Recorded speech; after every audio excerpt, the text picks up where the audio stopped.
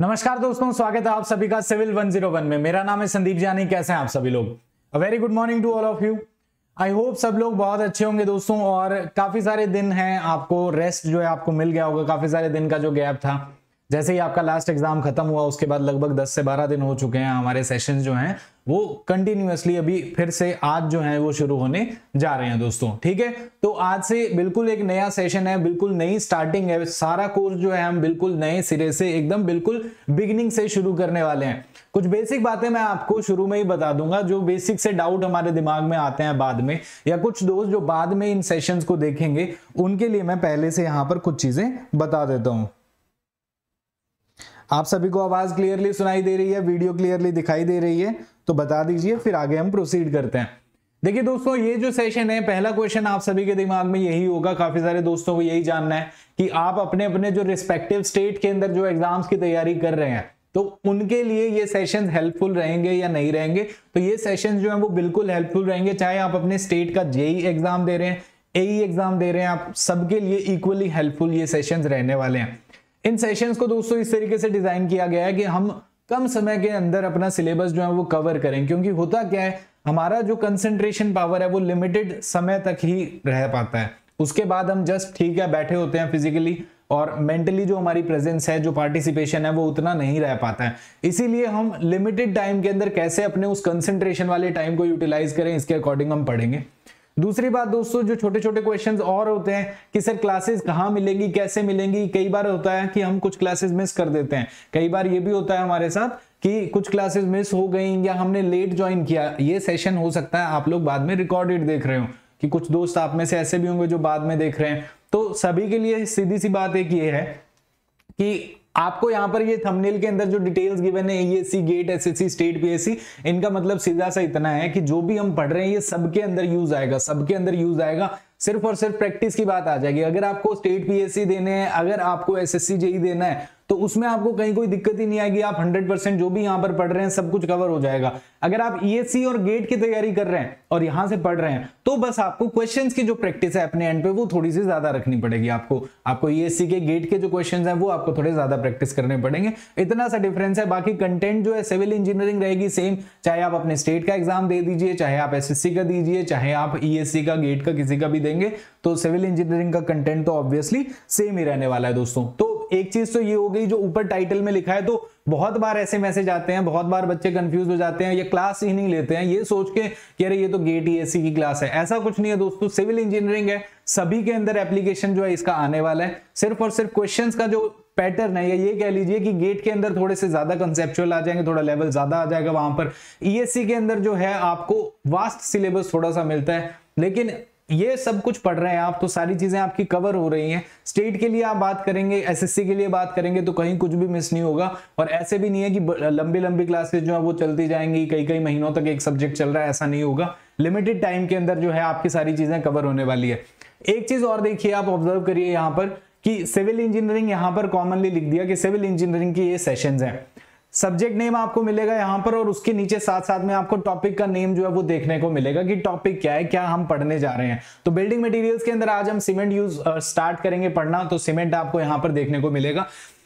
यहाँ पर रहेगा दोस्तों क्लास का नंबर यहाँ पे क्या रहेगा? क्लास का नंबर रहेगा। ये सब्जेक्ट का नहीं होगा। ये लास्ट तक, जब तक ये सेशन चलेंगे, जब तक सिविल इंजीनियरिंग कंप्लीट होगी, तब तक ये सेशन रहेंगे तो आपको इसमें कंफ्यूज नहीं होना है। कि ये इस सब्जेक्ट का class number one two three four है, या फिर जो सीरीज़ है तो ये बिल्कुल स्टार्टिंग से है। ताकि आप रिलेट कर पाए कि हाँ कौन सी क्लास कब हुई, उसके बाद कौन सी हुई थी, उसके बाद कौन सी हुई थी। कई बार सिर्फ़ सब्जेक्ट वाइज होता है तो कंफ्यूजन हो जाती है कि कितने सेशन रहे होंगे, उसके दस सेशन है, बारह सेशन है इस सब्जेक्ट के।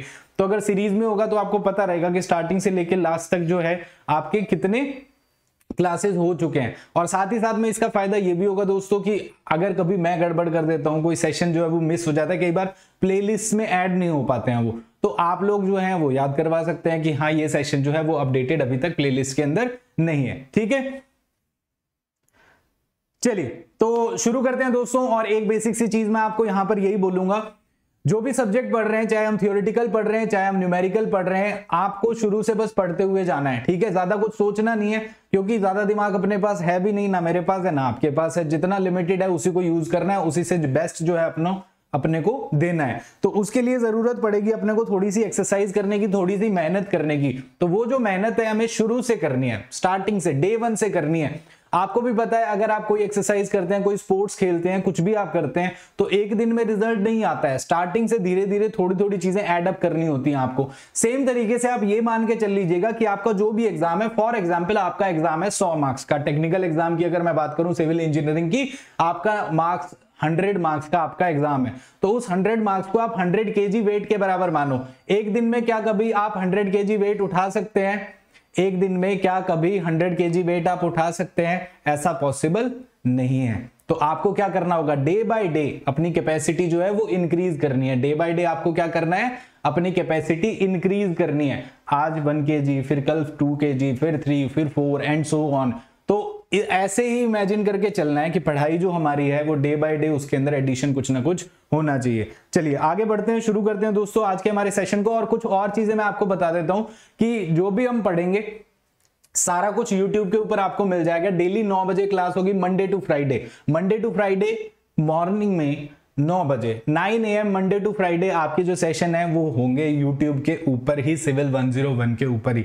तो किसी से पूछने की ज़रूरत नहीं है, कब क्लास होगी, कहाँ पे क्लास होगी। ये जो सेशन चलेंगे Monday to Friday 9 A M civil 101 के ऊपर। वाईफाई स्टडी चैनल जो हमारा है, उसके ऊपर कुछ स्पेशल सेशन होंगे।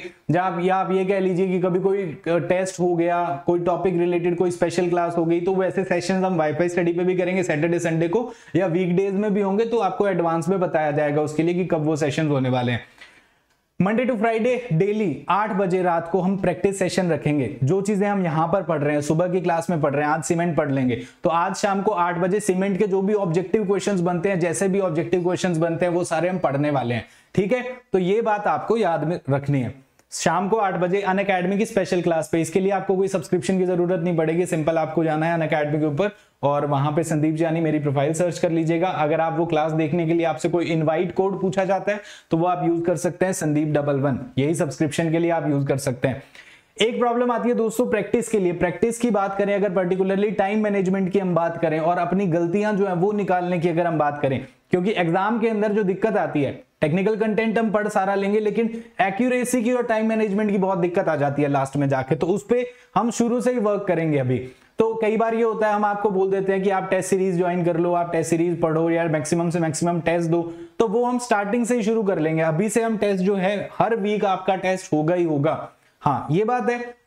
किसी टेस्ट को हम स्पेशल क्लास के फॉर्म में कर लेंगे, किसी को हम, हो सकता है यूट्यूब सेशन में करें, किसी को जो आपको क्विज की फॉर्मेट में या जो ऐप के ऊपर ही आपको पूरा कंप्लीट टेस्ट मिलेगा, उसमें करेंगे। कोशिश यही रहेगी दोस्तों हमेशा कि आपको पूरा का पूरा हंड्रेड क्वेश्चंस का एक सेट जो है, वो मिले और पूरा ऐप के ऊपर मिले, जिसमें आप अटेम्प्ट करें पहले, बाद में हम उसका सॉल्यूशन जो है, वो हम देख लेंगे, ठीक है?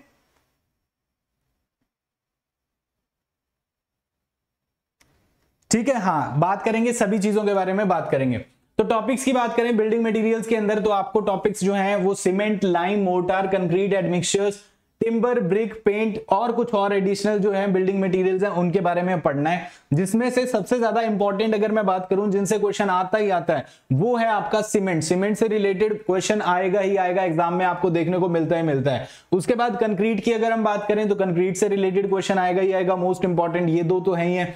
देन कम्स टिम्बर और ब्रिक्स इनसे रिलेटेड क्वेश्चन जो है, वो पूछे जाते ही जाते हैं। ये तो वो टॉपिक्स हैं जो बहुत इंपॉर्टेंट है। लाइम इन जनरल आपसे बहुत सारी जगह जो है लाइम यूज़ आता है तो इनसे रिलेटेड भी क्वेश्चंस आपसे पूछते ही पूछते हैं। बाकी टॉपिक्स भी इंपॉर्टेंट है, लेकिन ये मोस्ट इंपॉर्टेंट है, इनमें से क्वेश्चन आएगा ही आएगा तो इनको आपको नहीं छोड़ना है, किसी भी हालत में कुछ भी इनमें से नहीं छोड़ना है। बिल्डिंग मटेरियल ईमानदारी वाली मैं बात करूँ तो थोड़ा सा थियोरिटिकल सब्जेक्ट है। है आसान, बहुत आसान है, और अब तक अगर इतिहास को उठाएँ तो आप कोई भी जेई एग्ज़ाम अगर देख लीजिए स्टेट के जो एग्ज़ाम है, उनमें सबसे ज़्यादा जो सवाल पूछे जाते हैं, वो बिल्डिंग मटेरियल से पूछे गए हैं अब तक। अब पैटर्न थोड़ा थोड़ा चेंज हो रहा है कि हर सब्जेक्ट को टच कर रहे हैं, जो भी डिपार्टमेंट्स हैं। अगर आप एसएससी की बात करें, अगर आप यूपीएससी की बात करें इंजीनियरिंग सर्विसेज़ की तो लगभग लगभग हर टॉपिक जो है, हर सब्जेक्ट से रिलेटेड क्वेश्चन जो है, वो पूछे जा रहे हैं। लेकिन इसका मतलब ये तो नहीं है कि इसका वेटेज कम हो गया है। पहले से कम हुआ है, लेकिन है तो अभी भी मेजोरिटीज के अंदर तो ये रहेगा ही रहेगा। तो थोड़ा थियोरिटिकल है याद करना पड़ेगा। याद करना है तो दो चीज़ें होंगी आपके पास इस सब्जेक्ट के अंदर। एक होगी कहानियाँ फिलर मटेरियल जिसको हम बोलते हैं, बस समझने के लिए यूज़ होता है। दूसरा डेटा जो हमें याद करना है, जो चीज़ें हैं, जो फैक्ट्स हैं, या अगर कोई टेस्ट है, उसकी प्रॉपर्टीज़ है अगर तो वो आपको याद करनी है। तो वो हम क्लास में ही याद करके चलेंगे। एक बार याद करेंगे क्लास में एक बार आप क्लास खत्म होने के बाद, एक घंटे, दो घंटे, जब भी आप थोड़ा सा फ्री हो जाएँ, तब एक बार फिर से आप जो है पीडीएफ के पीडीएफ को गो थ्रू कर लेना, आपको पीडीएफ मिल जाएगी। क्लास खत्म होने के बाद आधे घंटे के अंदर अंदर पीडीएफ मिल जाएगी आपको। तो पीडीएफ को गो थ्रू कर लेना आप कि हाँ क्या क्या चीज़ें हमने पढ़ी, उन उन पॉइंट्स को। जो पॉइंट्स बताए जाएँगे क्लास में कि ये ये इंपॉर्टेंट है, यहाँ से सवाल पूछता है, उन उन पॉइंट्स पे फोकस करना है। शाम को जो हमारी प्रैक्टिस वाली क्लास होगी, उसमें आपकी सब इस टॉपिक की पूरी की पूरी प्रैक्टिस भी हो जाएगी क्वेश्चंस भी आपके उसके अंदर हो जाएँगे, क्योंकि वहाँ पे पोल रहेगा। आप पार्टिसिपेट कर सकते हैं। जब इतना हो जाए नेक्स्ट डे जब आप फिर से क्लास के अंदर आए तो आज का टॉपिक तो आज कंप्लीट ही हो जाएगा। लेकिन अगर कोई रिलेटेड टॉपिक हो, आज का टॉपिक कल भी चल रहा है, परसों भी चल रहा है तो उसको आप रिवाइज करेंगे। क्लास स्टार्ट होने से पहले आप रिवाइज करेंगे। नौ बजे का टाइम इसीलिए रखा गया है। छह बजे, सात बजे तक सो लो, फिर उठ के बाद, उसके बाद उठ जाओ, थोड़ा फ्रेश हो जाओ रेडी हो जाओ। उसके बाद एक घंटा आपके पास फिर भी रहेगा। तो जो प्रीवियस डे पढ़ाया गया, वो आप रिवाइज कर लीजिए। धीरे धीरे आज से मेहनत करना शुरू कर देंगे तो लास्ट तक जाके बिल्कुल दिक्कत नहीं आएगी। चलिए, शुरू करते हैं दोस्तों। लेट अस बिगिन तो दोस्तों, आपने देखा होगा डे टू डे लाइफ के अंदर हम रोड देखते हैं जो कंक्रीट से बनी हुई होती है। उनके अंदर डेफिनेटली सीमेंट जो है, उसका यूज़ होगा। बात कर रहे हैं सीमेंट जो है आपको क्या इंपॉर्टेंस है कहाँ कहाँ आपको देखने को मिलती है। फिर उसके बाद बात करें, अगर आप ब्रिजेस की बात करते हैं, अगर आप पियर्स की बात करते हैं, जहाँ पर कंक्रीटिंग हो रखी है, जहाँ पर आपने रिइंफोर्समेंट भी यूज़ कर रखा है स्टील का यूज़ कर रखा है प्री फेब्रिकेटेड वर्क हो सकता है। पहले से जो रेडीमेड ब्लॉक्स हैं, वो यूज़ हो सकते हैं, उनसे जो कंस्ट्रक्शन होता है। तो इन सब के अंदर आप देखते हैं सीमेंट जो है, अगर सीमेंट को हटा दीजिए, अगर आप सीमेंट को हटा दो, इन सारे स्ट्रक्चर्स में से सीमेंट को हटा दो तो क्या बचेगा? कुछ भी नहीं बचेगा। सीमेंट जो है, वो क्या कर रहा है? बाइंड करने का काम कर रहा है। सीमेंट सारी चीज़ें जो अगर कंक्रीट है आपके पास तो कंक्रीट के अंदर एग्रीगेट होगा फाइन एग्रीगेट होगा सैंड होगी जो आपके पास वाटर होगा। और अगर कोई और एडमिक्सचर ऐड कर रहे हैं तो उन सारी चीज़ों को सीमेंट क्या कर रहा है? बाइंड कर रहा है। तो सीमेंट जो है, वो क्या है? एक बाइंडिंग मटेरियल है। इन जनरल अगर हमसे पूछा जाए व्हाट इज़ सीमेंट तो बाइंडिंग मटेरियल है बाइंड कर रहा है अलग अलग इंग्रेडिएंट को। और उसके बाद वो क्या हो जाता है? सेट हो जाता है या हार्ड हो जाता है और उसके बाद उसमें आ जाती है स्ट्रेंथ स्ट्रेंथ आने के कारण क्या होगा? ऊपर से उसके ऊपर कोई भी लोड अगर हम लाएँगे, लगाएँगे तो वो रेजिस्ट कर सकता है। तो आपने रोड्स के अंदर देखा होगा, रोड कंस्ट्रक्शन पेवमेंट कंस्ट्रक्शन में अगर हम बात करें तो रेजिड पेवमेंट में आपने यहाँ पे देखा है। साथ ही साथ में ब्रिजेस के पियर्स के अंदर या ब्रिजेस के अंदर आपने देखा होगा, जो भी स्काई स्क्रैपर्स होते हैं बड़े बड़े टावर्स हैं, वो पॉसिबल ही नहीं है कंस्ट्रक्ट हो पाना अगर सीमेंट ना हो। ठीक है, पुराने जमाने की अगर हम बात करें या शुरू शुरू में जब भी बात आती है सिविल इंजीनियरिंग की, रोड कंस्ट्रक्शन की या फिर कंस्ट्रक्शन इंफ्रास्ट्रक्चर की बात आती है तो रोमन्स की हम बात करते हैं। वहाँ पे पहले क्या होता था? शुरू शुरू में लाइम ही होता था। लाइम जो है वो एक बाइंडिंग मटेरियल की तरह यूज़ होता था। लेकिन धीरे धीरे क्या हुआ? इवोल्यूशन हुआ चीज़ों का कि मतलब और कैसे इस पे वर्क किया जाए, कैसे और सीमेंटिंग प्रॉपर्टी बढ़ाई जाए, उसकी कैसे उसकी स्ट्रेंथ जो है, वो बढ़ाई जाए, उस पर काम किया गया रिसर्च की गई और धीरे धीरे हम जो आज मॉडर्न हम सीमेंट यूज़ कर रहे हैं, वहाँ तक हम पहुँचे। ठीक है तो during any type of construction cement का रोल जो है वो स्टार्टिंग से बहुत ज़्यादा इंपॉर्टेंट रहता है। आप ये देख सकते हैं, चाहे वो कहीं पे हो, चाहे आप डैम्स की बात कर लीजिए बड़े बड़े मैसिव स्ट्रक्चर्स हैं, जहाँ पर वाटर भी रहेगा उनको सपोर्ट करना है उसको रोकना है तो वहाँ पे भी यूज़ होता है। चाहे आप पोर्ट्स की बात कर लीजिए, वहाँ पे यूज़ हो रहा है। तो सीमेंट के बिना कोई भी स्ट्रक्चर जो है, अगर हम बात करें आज के टाइम में, जो भी हैवी स्ट्रक्चर है, जिनके ऊपर बहुत हैवी लोड आने वाला है, कोई भी इंफ्रास्ट्रक्चर अगर आपको बिल्ड करना है तो सीमेंट के बिना वो कर पाना मुश्किल ही है। ठीक है, मुश्किल क्या नामुमकिन ही कह लीजिए, क्योंकि अभी तक एज सच कोई इसका ऑल्टरनेटिव नहीं प्रेजेंट है, जिसकी इतनी अच्छी बाइंडिंग प्रॉपर्टी हो। तो सीमेंट इन जनरल अब देखो दोस्तों, बहुत सारी फिलर मटेरियल चलेंगे, आपको यहाँ पर बहुत सारी चीज़ें दिखाई देंगी। थ्योरेटिकल सब्जेक्ट को पढ़ने का तरीका यही है। आप जो सरल भाषा में जो चीज़ें समझ में आती हैं, वो समझ लीजिए। ये आपके बाद के रिवीजन के लिए है कि बाद में आपको खुद से पढ़ना है, उसके लिए रिवीजन के लिए है तो बहुत सारी चीज़ें आपको दिखती जाएँगी। आपको लगेगा, अरे, ये भी याद करना है क्या? ये भी याद करना है। कुछ नहीं करना, बस सुनते जाइए। जहाँ पे आपको बोला जाए, ये चीज़ याद करो, ये चीज़ अभी बोलो। तो वहाँ पर ईमानदारी से आप अपने घर पे बैठे हैं, ऑफ़िस में बैठे हैं, स्कूल में, जहाँ भी आप बैठे हैं, वहाँ पे उसको थोड़ा सा ज़ोर ज़ोर से बोल के आप पढ़ लीजिए इफ़ पॉसिबल ठीक है? तो आपको इंस्टेंटली क्लास के अंदर ही याद हो जाएगा, ठीक है? तो बाहर आपको मेहनत नहीं करनी पड़ेगी। सीमेंट होता क्या है? एक ऐसा बाइंडिंग मटेरियल है जो अपने साथ अलग अलग इंग्रेडिएंट्स हैं, उनको बाइंड करेगा। आगे बढ़ते हैं दोस्तों तो सीमेंट जो है function is to bind the sand coarse aggregate और जो पार्टिकल्स है फाइन एग्रीगेट उन सबको साथ में बाइंड करने का काम कर रहा है। सिंपल सा ऑब्जेक्टिव सवाल आपसे पूछ सकता है कि जो सीमेंट है, उसको सबसे पहले किसने फॉर्म किया? पहले लाइम यूज़ होता था लाइम के अंदर फिर कुछ और जो प्रॉपर्टीज़ उसकी एनहेंस करते गए, उसमें कुछ और चीज़ें ऐड करते गए और फाइनली हम आ गए किसके ऊपर? सीमेंट के ऊपर या जो पोर्टलैंड सीमेंट यूके के अंदर एक जगह है पोर्टलैंड वहाँ पे ये पहली बार इसको बनाया गया। उसी के ऊपर इसका नाम रख दिया पोर्टलैंड सीमेंट की अगर हम बात करें। या एक वहाँ पर स्टोन है पोर्टलैंड के जो आप है, वहाँ पर एक स्टोन है, उससे रिलेटेड इसकी प्रॉपर्टीज़ थी। तो उसका और जो पोर्टलैंड सीमेंट, इसका हमने नाम रखा। जोसेफ एस्पिडीन जोसेफ एस्पिडीन पहला ऑब्जेक्टिव सवाल यहाँ से शुरू हो जाता है। उन्होंने सबसे पहले पोर्टलैंड सीमेंट जो है, उसको फॉर्म किया। तो जोसेफ एस्पिडीन, आपको याद रखना है, पहला ऑब्जेक्टिव सवाल यहाँ से शुरू हो जाता है। Joseph Aspdin was the first one to introduce Portland cement in 1824 1824 और लाइम से ही बनाया ऑब्वियस सी बात है, पहले हम लाइम यूज़ करते थे लाइम के अंदर ही और इंग्रेडिएंट्स को ऐड किया और उसकी प्रॉपर्टीज़ जो हैं, वो और बेहतर कर दी गई। तो जोसेफ एसपीडी ने सबसे पहले पोर्टलैंड सीमेंट से हमें इंट्रोड्यूस करवाया, उसके बारे में हमें बताया। सीमेंट इन जनरल अगर हम बात करें तो सीमेंट जो है, वो दो तरीके के कंपोनेंट इसके अंदर प्रेजेंट होते हैं। एक क्ले वाले, जिसे कहते हैं आर्जिलेशियस एक होते हैं कैल्शियम वाले या लाइम वाले। तो आर्जिलेशियस और कैल्सीरियस इन दोनों सब्सटेंस को मिला के आर्जिलेशियस और कैल्शीरियस इन दोनों को मिला के हम क्या बोलते हैं कि सीमेंट इनके अंदर फॉर्म होती है।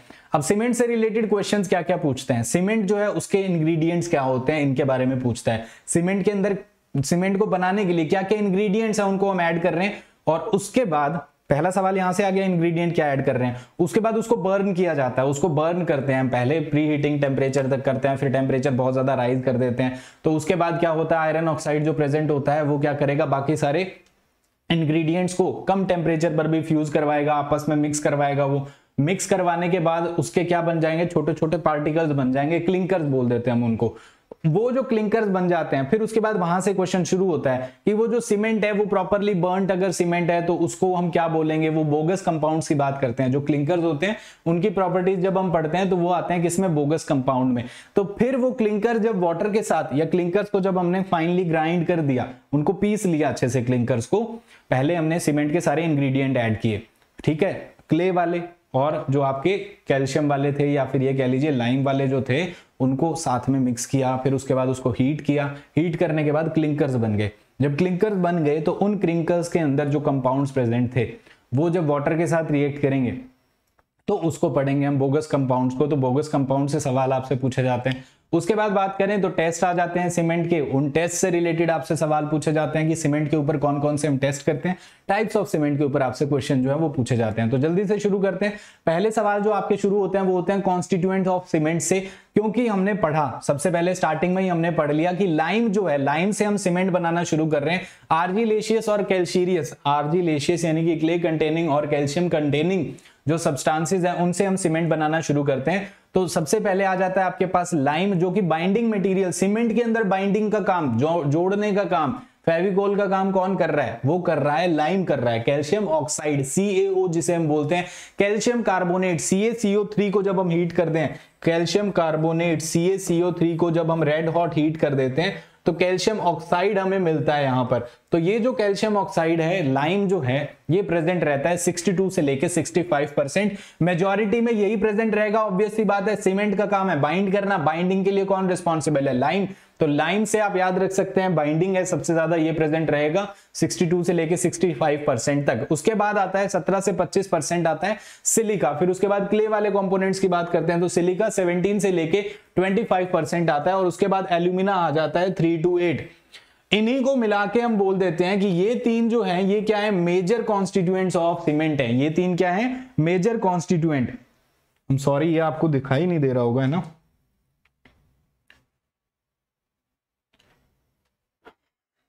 ये क्या है? मेजर कॉन्स्टिट्यूएंट लाइम सिलिका और एल्यूमिना जो आपके हैं, ये मेजर कॉन्स्टिट्यूएंट है। मेजर कॉन्स्टिट्यूएंट सबसे ज़्यादा क्वांटिटी में जो प्रेजेंट है लाइम सिलिका और एल्यूमिना उसके बाद आ जाता है जिप्सम जिप्सम की बात करें रिटार्डर होता है, आपको पता है या नहीं पता है तो अभी हम इन सबको पढ़ेंगे। इनका यूज़ क्या है? थ्री टू फोर परसेंट तक जिप्सम प्रेजेंट रहता है। उसके बाद आयरन ऑक्साइड रहता है थ्री से फोर परसेंट के बीच में एंड देन कम्स मैग्नीशिया एक से तीन परसेंट सल्फ़र रहता है, एक से तीन परसेंट के बीच में। फिर आ जाते हैं एल्कलीज आ जाती हैं। एल्कलीज जो है वो एक परसेंट से कम कम या ये कह लीजिए पॉइंट टू से लेके एक परसेंट। ठीक है? जल्दी से इसको रीड करिए। तीन बार सब लोग इसको बोलेंगे। Lime silica alumina gypsum iron oxide magnesia sulphur alkalis lime silica alumina gypsum iron oxide magnesia sulphur alkalis तीन बार बोलेंगे सब लोग। Lime silica alumina gypsum iron oxide magnesia sulphur alkalis lime silica alumina gypsum iron oxide magnesia sulphur alkalis lime present है 62 से 65 percent silica present है 17 से 25 percent alumina present है 3 से 8 परसेंट जिप्सम प्रेजेंट है 3 से 4 3 से 4 फिर उसके बाद मैग्नीशिया 1 से 3 सल्फ़र 1 से 3 पॉइंट टू से लेके पॉइंट वन जल्दी से याद करिए, जब याद हो जाए तो बता दीजिएगा। और अगर दिखाई नहीं दे रहा है तो आई होप अभी थोड़ा बेटर दिख रहा होगा आपको।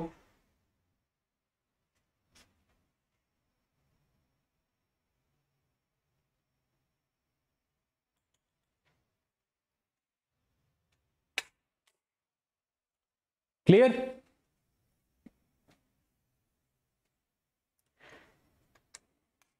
पीडीएफ आपको क्लास के बाद एक गूगल ड्राइव लिंक बना लूँगा मैं, ठीक है? पीडीएफ के लिए क्या करेंगे हम? एक गूगल ड्राइव लिंक बना लेंगे। उस गूगल ड्राइव लिंक को जो भी आपकी क्लास होगी, उसके कमेंट के अंदर या डिस्क्रिप्शन के अंदर आपको वो मिल जाएगा। उस, उसी सेम फोल्डर पे आपको सारी पीडीएफ्स भी मिल जाएँगी। दूसरा तरीका टेलीग्राम टेलीग्राम के ऊपर आपको जो भी क्लास शुरू होती है, उस क्लास से पहले या क्लास से रिलेटेड कोई भी इंपॉर्टेंट पोस्ट होता है वो भी मैं वहाँ पर डालता हूँ। तो आप चाहे तो टेलीग्राम वहाँ पर एक्टिव रह सकते हैं। वहाँ पर रहेंगे तो बहुत बेहतर रहेगा। जो भी क्लास से रिलेटेड इन्फॉर्मेशन होगी, वो इंस्टेंटली आपको वहाँ पर मिलेगी। कोई भी इंपॉर्टेंट नोटिफिकेशन आएगा, वो आपको वहाँ पर मिल जाएगा। तो वहाँ भी आप रह सकते हैं, यहाँ पे भी आपको मिल जाएगा। चलिए तो ये याद हो गया होगा आई होप सबको। सबसे ज़्यादा क्वांटिटी में मेजर कॉन्स्टिट्यूएंट जो सबसे ज़्यादा जो आपसे पूछा ही पूछा जाता है सवाल, वो इनसे रिलेटेड है। कितने ही सवाल न जाने इन इन टॉपिक से रिलेटेड इस एक चार्ट से रिलेटेड क्वेश्चन जो है आपसे पूछे गए हैं। तो major constituent lime silica alumina ये तीन रहते हैं। उसके बाद बात करें दोस्तों लाइम की बात करें तो लाइम पहली चीज़ तो आपको पता है मेजर क्वांटिटी में है। मेजर क्वांटिटी में है तो सबसे ज़्यादा ये क्या करेगा? बल्क जो है वो भी ये प्रोवाइड कर रहा है। दूसरी बात लाइम सीमेंटिंग का काम कर रहा है। लाइम ज्वाइन करने का काम कर रहा है। लाइम बाइंड करने का काम कर रहा है। तो ये क्या करेगा? स्ट्रेंथ भी यही इंपार्ट करेगा। जो भी सीमेंट है, उसके अंदर स्ट्रेंथ आ रही है, वो किसके कारण आएगी? लाइम के कारण जो है, वो स्ट्रेंथ उसके अंदर इंपार्ट होगी। साथ ही साथ में मेजर क्वांटिटी में ये प्रेजेंट है तो ये क्या करेगा? वॉल्यूम भी प्रोवाइड कर रहा है। यहाँ पर साउंडनेस ये प्रोवाइड कर रहा है। लाइम देखो दोस्तों, अगर ज़्यादा हो जाता है तो ज़्यादा होने के कारण क्या हो जाता है? लाइम जब सीमेंट को बर्न किया जाएगा और लाइम बहुत ज़्यादा है उसके अंदर तो क्या होगा? वो लाइन जो है, वो फ्री लाइन की फॉर्म में रह जाएगा। या जो सीमेंट के क्लिंकर जो फॉर्म होंगे क्लिंकर जो हैं, जो छोटे छोटे पार्टिकल सीमेंट के जो फॉर्म होंगे, उन क्लिंकर्स के अंदर फ्री लाइम रहेगा। और फ्री लाइम जो है, वो आपको पता है फ्री लाइम या कैल्शियम ऑक्साइड की अगर मैं बात करूँ तो सी जो है, उसको जैसे ही कहीं पे पानी मिल गया तो वो क्या कर देगा? कैल्शियम हाइड्रोक्साइड बना देगा। कैल्शियम हाइड्रोक्साइड जो है, वो क्या करेगा? वॉल्यूम उसका बढ़ जाता है, वॉल्यूम ज़्यादा हो जाता है फ्री लाइम के कंपैरिजन में और फिर वो एक्सपेंड करने की कोशिश करेगा। एक्सपेंड करेगा तो वो है तो हमारी सीमेंट के अंदर ही तो वो उसको वॉल्यूम चेंजेस ला देगा, उसमें डिसइंटीग्रेट कर देगा तो अनसाउंडनेस क्रिएट कर देगा। तो लाइन जो है वो अगर रिक्वायर्ड क्वांटिटी 62 62 से, से लेके 65 परसेंट इससे ज़्यादा हो जाएगा तो अनसाउंडनेस अनसाउंडनेस क्रिएट कर देगा। अगर कम हो जाएगा तो स्ट्रेंथ यही इंपार्ट कर रहा था स्ट्रेंथ जो है वो रिड्यूस हो जाएगी। एक्सेस में होगा तो it becomes difficult to combine with other compound और वो फ्री लाइन के फॉर्म में प्रेजेंट रहेगा। उसके बाद बात आएगी दोस्तों सिलिका की। S for silica S for strength silica भी क्या करता है? सीमेंट को स्ट्रेंथ प्रोवाइड करता है। सिलिका जो है, वो सीमेंट को स्ट्रेंथ प्रोवाइड करता है। कम रहेगा तो स्ट्रेंथ जो है, वो रिड्यूस हो जाएगी। एक्सेस रहेगा तो स्ट्रेंथ तो बढ़ जाएगी, लेकिन सेटिंग टाइम भी बढ़ा देता है। एक्सेस हो जाएगा तो वो सेटिंग टाइम को बढ़ा देता है। स्ट्रेंथ तो चलो ठीक है, बढ़ाएगा ही बढ़ाएगा। क्लियर आगे बढ़े। नेक्स्ट आता है हमारे पास। एल्यूमिना एल्यूमिना क्या करता है? क्विक सेटिंग प्रॉपर्टी प्रोवाइड करता है। एल्यूमिना क्या करता है? क्विक सेटिंग प्रॉपर्टी जल्दी से जल्दी सेट हो जाता है। वो जल्दी से जल्दी क्या हो जाएगा? हार्ड हो जाएगा। क्विक सेटिंग प्रॉपर्टी जो प्रोवाइड की जाती है, वो किसके द्वारा प्रोवाइड की जाती है? एल्यूमिना के द्वारा प्रोवाइड की जाती है। एल्यूमिना एक और काम करता है, ये क्या करेगा? जो क्लिंकर्स फॉर्म होते हैं, जब सीमेंट के ये सारे इंग्रेडिएंट्स जिनको हम पढ़ रहे हैं, जब इनको मिक्स करके बर्न किया जाएगा तो उसका जो टेम्परेचर है, उसको क्या कर देता है? रिड्यूस कर देता है। It reduces the clinkering temperature clinkering temperature जो है, उसको रिड्यूस करने में मदद करेगा, जिससे कि कम टेम्परेचर पर क्लिंकर्स फॉर्म हो रहे हैं या सीमेंट जो है वो फॉर्म हो रही है। तीन से आठ प्रतिशत तक ये प्रेजेंट रहेगा और अगर ये ज़्यादा हो जाता है, अगर एल्यूमिना ज़्यादा हो जाएगा तो ये क्या कर देगा? सीमेंट को वीक बना देता है। उसके बाद आता है दोस्तों जिप्सम जिप्सम आप सभी को पता है, एक रिटार्डर का काम करता है, यानी कि ये सेटिंग टाइम को बढ़ा देता है। कैल्शियम सल्फेट होता है, जिप्सम कैल्शियम सल्फेट की फॉर्म में ये प्रेजेंट रहता है और ये एक रिटार्डर का काम करता है दोस्तों। इससे आप सेटिंग टाइम को बढ़ा देते हैं। इससे आप क्या कर देते हैं? सेटिंग टाइम को बढ़ा देते हैं। साथ साथ में जो क्वेश्चंस पूछे जाएँगे जिप्सम इसको हम कहते हैं रिटार्ड कर देना। किसी भी प्रोसेस को क्या कर देना? धीरे कर देना। आप कहते हैं गाड़ी चला रहे हैं एक्सेलरेट करते हैं मतलब आप अपनी स्पीड जो है वेलोसिटी उसको बढ़ा रहे हैं। अगर आप गाड़ी को रोक रहे हैं तो आप क्या कर रहे हैं उसमें? रिटार्डेशन कर रहे हैं या रिटार्ड कर रहे हैं। तो धीरे कर देना किसी प्रोसेस को। तो प्रोसेस को धीरे कर देना मतलब उसका टाइम बढ़ा देना। तो it is it increases the setting time जो सीमेंट होती है, शुरू में जब आपने जैसे ही उसमें वाटर डाला तो वो क्या होगी?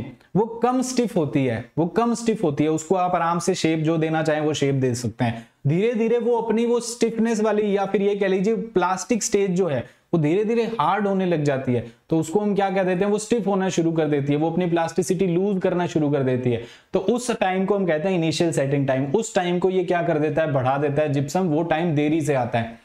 उसके बाद आता है दोस्तों iron oxide iron iron oxide आपको पता है स्ट्रेंथ इंपार्ट करता है, साथ ही साथ में कलर भी इंपार्ट करता है। आयरन ऑक्साइड जो है वो क्या करेगा? कलर इंपार्ट करेगा कैसा? रेडिश ब्राउन जो कलर है वो आयरन ऑक्साइड की वजह से आता है। साथ ही साथ में आयरन ऑक्साइड क्या करेगा? जो अलग अलग इंग्रेडिएंट्स है, उनका फ्यूजन करवाने में, उनको मिक्स करवाने में, जो आपके पास लाइम है सिलिका है एल्यूमिना है, बाकी जो इंग्रेडिएंट्स हैं, उन सबको फ्यूज करवाने में, आपस में मिक्स करवाने में मदद करेगा आयरन ऑक्साइड आपका।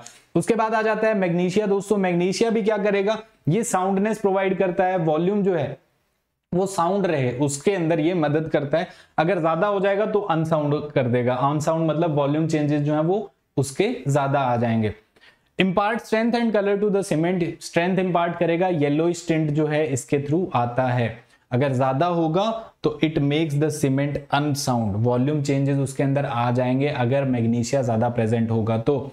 लाइम मैग्नीशिया और सल्फ़र ये तीन जो हैं, ये अगर एक्सेस में हो जाएँगे रिक्वायर्ड क्वांटिटी से ज़्यादा में हो जाएँगे तो सीमेंट को अनसाउंड कर देते हैं। अनसाउंड करने का मतलब उनमें वॉल्यूम चेंजेस आएँगे सीमेंट में, उस सीमेंट के अंदर। अगर ये रिक्वायर्ड क्वांटिटी से ज़्यादा है तो। तो उसके लिए हम इसके ऊपर टेस्ट करते हैं, उनकी भी हम बात करेंगे दोस्तों। नेक्स्ट बात करें तो आपके पास gypsum already we have discussed magnesia हो गया। नेक्स्ट आएगा सल्फ़र सल्फ़र एक से तीन परसेंट के बीच में प्रेजेंट रहता है। साउंडनेस के लिए रिस्पॉन्सिबल होता है। और अगर ज़्यादा क्वांटिटी में प्रेजेंट रहा सल्फ़र तो वो सीमेंट को अनसाउंड कर देगा। साउंडनेस का मतलब यहाँ से वॉल्यूम से रिलेटेड है।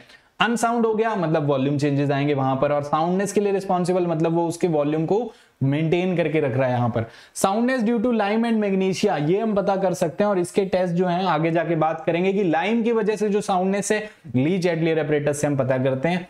और लाइम और मैग्नीशिया दोनों की वजह से जो है, वो ऑटोक्लेव अपरेटस से हम पता करते हैं। ये भी हम अभी थोड़ी सी देर में पढ़ने वाले हैं यहाँ पर। लेकिन सल्फ़र की वजह से जो साउंडनेस है, उसको टेस्ट करने का कोई मेथड हमारे पास अभी तक अवेलेबल नहीं है। एल्कलीज की अगर हम बात करें दोस्तों तो एल्कलीज जो है, वो क्या करती हैं? ये सेटिंग टाइम को बढ़ा देती है एक्सेलरेट कर देती है सॉरी सेटिंग टाइम को घटा देती है सेटिंग को एक्सेलरेट कर देती है। एल्कलीज जो है वो क्या करती हैं? सेटिंग को एक्सेलरेट करती हैं। Alkalis accelerate setting of cement paste इनके कारण एफ्लोरेसेंस आ जाता है, जो आपको व्हाइट ग्रे स्पॉट्स दिखाई देते हैं सीमेंट के। वो किसके कारण आता है? अगर एल्कलीज प्रेजेंट है तो उसके कारण ये आएँगे। व्हाइट ग्रे स्पॉट्स इसके अंदर प्रेजेंट रहेंगे। सो एल्कलीज की वजह से एफ्लोरेसेंस होता है। ऑब्जेक्टिव में आपसे ये सवाल पूछा जाता है। उसके बाद बात करते हैं दोस्तों, ये सारे इंग्रेडिएंट्स थे, जो भी सीमेंट के इंग्रेडिएंट की हमने बात की, आपके पास आया लाइम आया सिलिका आया एल्यूमिना आया आयरन ऑक्साइड आया मैग्नीशियम आया आपके पास आज जिप्सम आया ये सारी चीज़ें जो हैं, आपने मिला दी। उसके बाद उसको हीट किया। हीट करने के बाद उसको फिर बर्न किया। बर्न करने के बाद क्लिंकर्स फॉर्म हो गए। ऐसे कुछ दिखेंगे आपको क्लिंकर्स जब क्लिंकर्स फॉर्म हो गए हैं तो क्लिंकर्स की प्रॉपर्टीज़ हम पढ़ रहे हैं यहाँ पर। क्लिंकर्स जो हैं, जो फॉर्म हुए हैं उनको हम क्या कह रहे हैं? यहाँ पर बोगस कंपाउंड जो कि जाके क्या करेंगे? वाटर के साथ रिएक्ट करेंगे और उनका हाइड्रेशन होगा। मतलब उसके साथ उसकी रिएक्शन होगी सीमेंट क्लिंकर्स की। तो बोगस कंपाउंड जो है, उनकी प्रॉपर्टीज़ सबसे ज़्यादा, देखो सीमेंट थी सीमेंट के इंग्रेडिएंट्स मिक्स किए, उसको बर्न किया। बर्न करने के बाद क्लिंकर्स फॉर्म हुए। तो अब उनको हम पढ़ रहे हैं यहाँ पर। उन बोगस कंपाउंड्स को हम पढ़ रहे हैं जो वाटर के साथ रिएक्ट करने पर उस सीमेंट की या उस कंक्रीट की आगे जाके जो कैसी प्रॉपर्टी रहेगी। उसको इन्फ्लुएंस करेंगे, ठीक है? तो वो हम पढ़ने जा रहे हैं यहाँ पर। अब इसके अंदर क्या हुआ? आपके पास चार बोगस कंपाउंड्स आते हैं। आपके पास चार बोगस कंपाउंड्स आते हैं। Tri calcium aluminate tetra calcium aluminoferrite और tri calcium silicate di calcium silicate ये चार आते हैं, जिनके अलग अलग नाम भी आपने सुने होंगे, अगर आपने कोई बुक्स देखी हैं, जिनके अंदर क्वेश्चंस आपको ऐसे दिखे होंगे एलाइट से रिलेटेड फेलाइट से रिलेटेड सिलाइट से रिलेटेड बेलाइट से रिलेटेड सब कुछ अच्छा चल रहा था, पहले बोग ने इन सब कंपाउंड्स के बारे में पढ़ा तो अपना नाम दे दिया उन्होंने बोगस कंपाउंड्स फिर उसके बाद ली चैटलियर को नाम बोगस का लगा, ये सारे क्या है, ये क्या नाम रख दिया आपने, फिर उसके बाद उन्होंने ना, फिर से नाम चेंज कर दिए। उन्होंने नाम चेंज करके क्या रख दिए? ट्राई कैल्शियम एल्यूमिनेट को सेलाइट बोल दिया उन्होंने। टेट्रा कैल्शियम एल्यूमिनोफेरेट को फेलाइट बोल दिया। ट्राई कैल्शियम सिलिकेट को एलाइट बोल दिया। डाई कैल्शियम सिलिकेट को बेलाइट बोल दिया। तो ये जो नाम है, कहीं ना कहीं स्टेट के जो एग्ज़ाम्स है, उनमें कहीं पूछे गए हैं। उनसे रिलेटेड जो है, आपको डायरेक्टली नाम नहीं दिया कि ट्राई कैल्शियम एल्यूमिनेट नहीं दिया। उन्होंने बोल दिया सेलाइट सेलाइट की प्रॉपर्टी क्या होती है? Heat of hydration of celite is सबसे ज़्यादा होता है, कम होता है, क्या होता है? तो आप इनके नाम जो है, वो देख लीजिएगा। टेट्रा कैल्शियम एल्यूमिनो फेराइट तो फेराइट या फेरस से आप याद रख सकते हैं, ये फेलाइट होगा यहाँ पर। ये याद करने में किसी को कोई दिक्कत नहीं आएगी यहाँ पर। ट्राई कैल्शियम कैल्शियम से रिलेटेड है ट्राई कैल्शियम एल्यूमिनेट है तो आप इसे सिलाइट से याद रख सकते हैं। ट्राई ट्राई कैल्शियम सिलिकेट तो ये जब कैल्शियम वाला एल्यूमिनेट था, सिलाइट है ट्राई कैल्शियम सिलिकेट, एलाइट होगा यहाँ पर। डाई कैल्शियम सिलिकेट, बिलाइट से आप कहेंगे। या आप ऐसे याद रख लीजिए। सबसे पहले आया ए फिर आया बी तो ए जो है, यानी कि सबसे पहले इनिशियल स्ट्रेंथ कौन प्रोवाइड करता है? ट्राई कैल्शियम सिलिकेट तो एलाइट से याद रख सकते हैं। फाइनल स्ट्रेंथ कौन प्रोवाइड करता है? डाई कैल्शियम सिलिकेट तो बी से याद रख सकते हैं। ए बी से आप ऐसे याद रख लीजिए कि इनिशियल स्ट्रेंथ कौन प्रोवाइड करेगा? Tri calcium silicate final strength कौन प्रोवाइड करेगा? डाई कैल्शियम सिलिकेट तो ए और बी इनके थ्रू आप याद रख सकते हैं। सी ट्राई कैल्शियम एल्यूमिनेट बच गया। फेराइट वाला है तो फेलाइट आ जाएगा आपके पास यहाँ पर। याद रहेगा सबको?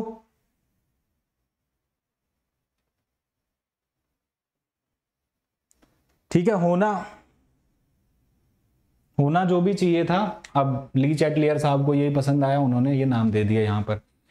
They are known as bogus compound after the name of Bogue who identified them Le Chatelier and Tornebohm have referred these compounds as alite C3S को कहा बेलाइट C2S को कहा सिलाइट C3A को कहा फेलाइट C4AF को उन्होंने बोल दिया।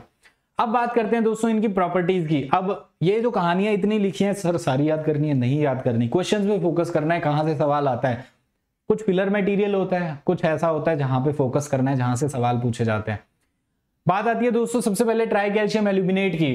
ट्राई कैल्शियम तीन कैल्शियम प्रेजेंट है tri calcium aluminate three C three lime present है यहाँ पर और बाकी एल्यूमिना प्रेजेंट है। तो ट्राई कैल्शियम एल्यूमिनेट ये वो क्लिंकर्स हैं जो अच्छे से बर्न होते हैं, ये वो क्लिंकर्स होते हैं जो अच्छे से बर्न हुए।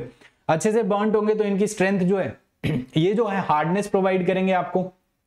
स्ट्रेंथ के लिए रिस्पॉन्सिबल होता है ट्राई कैल्शियम सिलिकेट वो प्रॉपरली बर्न और एकदम आइडियल वाला क्लिंकर होगा जो सबसे ज़्यादा स्ट्रेंथ प्रोवाइड करता है।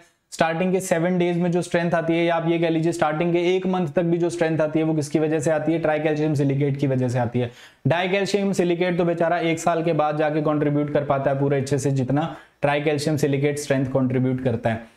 तो ट्राई कैल्शियम एल्यूमिनेट जो है, इसके अंदर वो पोर्शन होगा क्लिंकर्स का जो सबसे ज़्यादा हीट ऑफ़ हाइड्रेशन रिलीज़ करता है। सबसे ज़्यादा। रेट की बात नहीं हो रही कि कितने टाइम में कितनी हीट रिलीज़ की, नहीं। सबसे ज़्यादा कौन रिलीज़ कर रहा है, उसकी बात करें अगर हम तो वो ट्राई कैल्शियम एल्यूमिनेट आता है। जैसे ही आप क्या करते हैं, लगभग वाटर ऐड होगा तो उसके बाद ये 24 फोर आवर्स के अंदर अंदर ये फॉर्म हो जाता है। It is responsible for maximum amount of heat of hydration it is responsible for maximum amount of heat of hydration जो भी इनिशियल सेट होता है फ्लैश सेट होता है, जो हार्डनेस इंट्रोड्यूस होती है सीमेंट के अंदर, वो किसकी वजह से होती है? ट्राई कैल्शियम एल्यूमिनेट की वजह से होती है और ये सवाल न जाने कितनी बार, कितने ही सालों में पूछा जा चुका है। ये बहुत बार क्वेश्चन पूछता है इनिशियल सेट के लिए कौन रिस्पॉन्सिबल है? C three A flash set के लिए कौन रिस्पॉन्सिबल है? सी थ्री ए सबसे ज़्यादा हीट ऑफ़ हाइड्रेशन कौन रिलीज़ करता है? सी थ्री ए तो याद रखना ही रखना है, इसमें कोई किंतु परंतु नहीं होनी चाहिए और यही सवाल जो है मेजोरिटी ऑफ़ द टाइम आपसे पूछा गया है। या तो हीट ऑफ़ हाइड्रेशन से रिलेटेड या फिर आपसे सवाल जो है वो पूछा गया किससे रिलेटेड फ्लैश सेट के लिए इनिशियल सेट के लिए कौन रिस्पॉन्सिबल है? तो ट्राई कैल्शियम एल्यूमिनेट रिस्पॉन्सिबल है। ठीक है? नेक्स्ट अगर हीट ऑफ़ हाइड्रेशन ज़्यादा रिलीज़ हुई, आपको पता है हीट ऑफ़ हाइड्रेशन अगर ज़्यादा रिलीज़ होगी तो क्या हो जाता है? हीट ऑफ़ हाइड्रेशन ज़्यादा रिलीज़ होगी तो क्या हो जाएगा? हीट ऑफ़ हाइड्रेशन क्या हीट ऑफ़ हाइड्रेशन दोस्तों, जब भी सीमेंट जो है वो वाटर के साथ रिएक्ट करेगा तो हम कह देते हैं कि हाइड्रेशन हो रहा है। हाइड्रेशन होने पर क्या होगा? वहाँ पर एनर्जी रिलीज़ होगी। हीट ऑफ़ हाइड्रेशन रिलीज़ होता है। वो हीट ऑफ़ हाइड्रेशन जो है, कौन सा कंपाउंड प्रोवाइड कर रहा है? सबसे ज़्यादा ट्राई कैल्शियम एल्यूमिनेट प्रोवाइड कर रहा है। अब जितनी हीट रिलीज़ होगी, अगर आपने उसकी कूलिंग नहीं करवाई, अगर आपने उसकी क्योरिंग नहीं करवाई तो वो क्या कर देगी? उसमें क्रैक्स डेवलप कर देगी। सीमेंट के अंदर क्रैक्स डेवलप कर देगी वॉल्यूम चेंजेस ला देगी। तो इसी के लिए हम क्या करते हैं? सीमेंट की, या फिर जो कंक्रीट है, उसकी क्योरिंग करवाएँगे। अगला कंपाउंड हमारे पास आता है, अगला बोगस कंपाउंड जो आता है, वो आता है, कोई बोग कंपाउंड बोल देता है, कोई बोग्स कंपाउंड बोल देता है, कोई बोगस कंपाउंड बोल देता है। अब आपको जो पसंद हो प्रोनाउंसिएशन मैटर नहीं करती है, जो आपको पसंद हो वैसे आप इसका नाम दे दीजिए, ठीक है? जैसे बोग को पसंद आया, उन्होंने नाम दे दिया, उसके बाद ली चैटलियर को जो पसंद आया, उन्होंने अपने नाम दे दिए। आपको जो पसंद आए, उसके हिसाब से नाम नहीं बदल देना आप, बस ये कर लेना कि हाँ प्रोनाउंसिएशन अपना जो भी आपका जैसे सुटेबल लगे, वैसे आप इन्हें कह सकते हैं। ट्राई टेट्रा कैल्शियम एल्यूमिनोफेराइड जो आपके पास है, इसकी बात करें सी फोर टेट्रा मतलब चार टेट्रा कैल्शियम एल्यूमिनोफेराइड जो आपके पास है सी फोर ए एफ़ ये भी फ्लैश सेट के लिए, या इनिशियल सेट के लिए रिस्पॉन्सिबल होता है।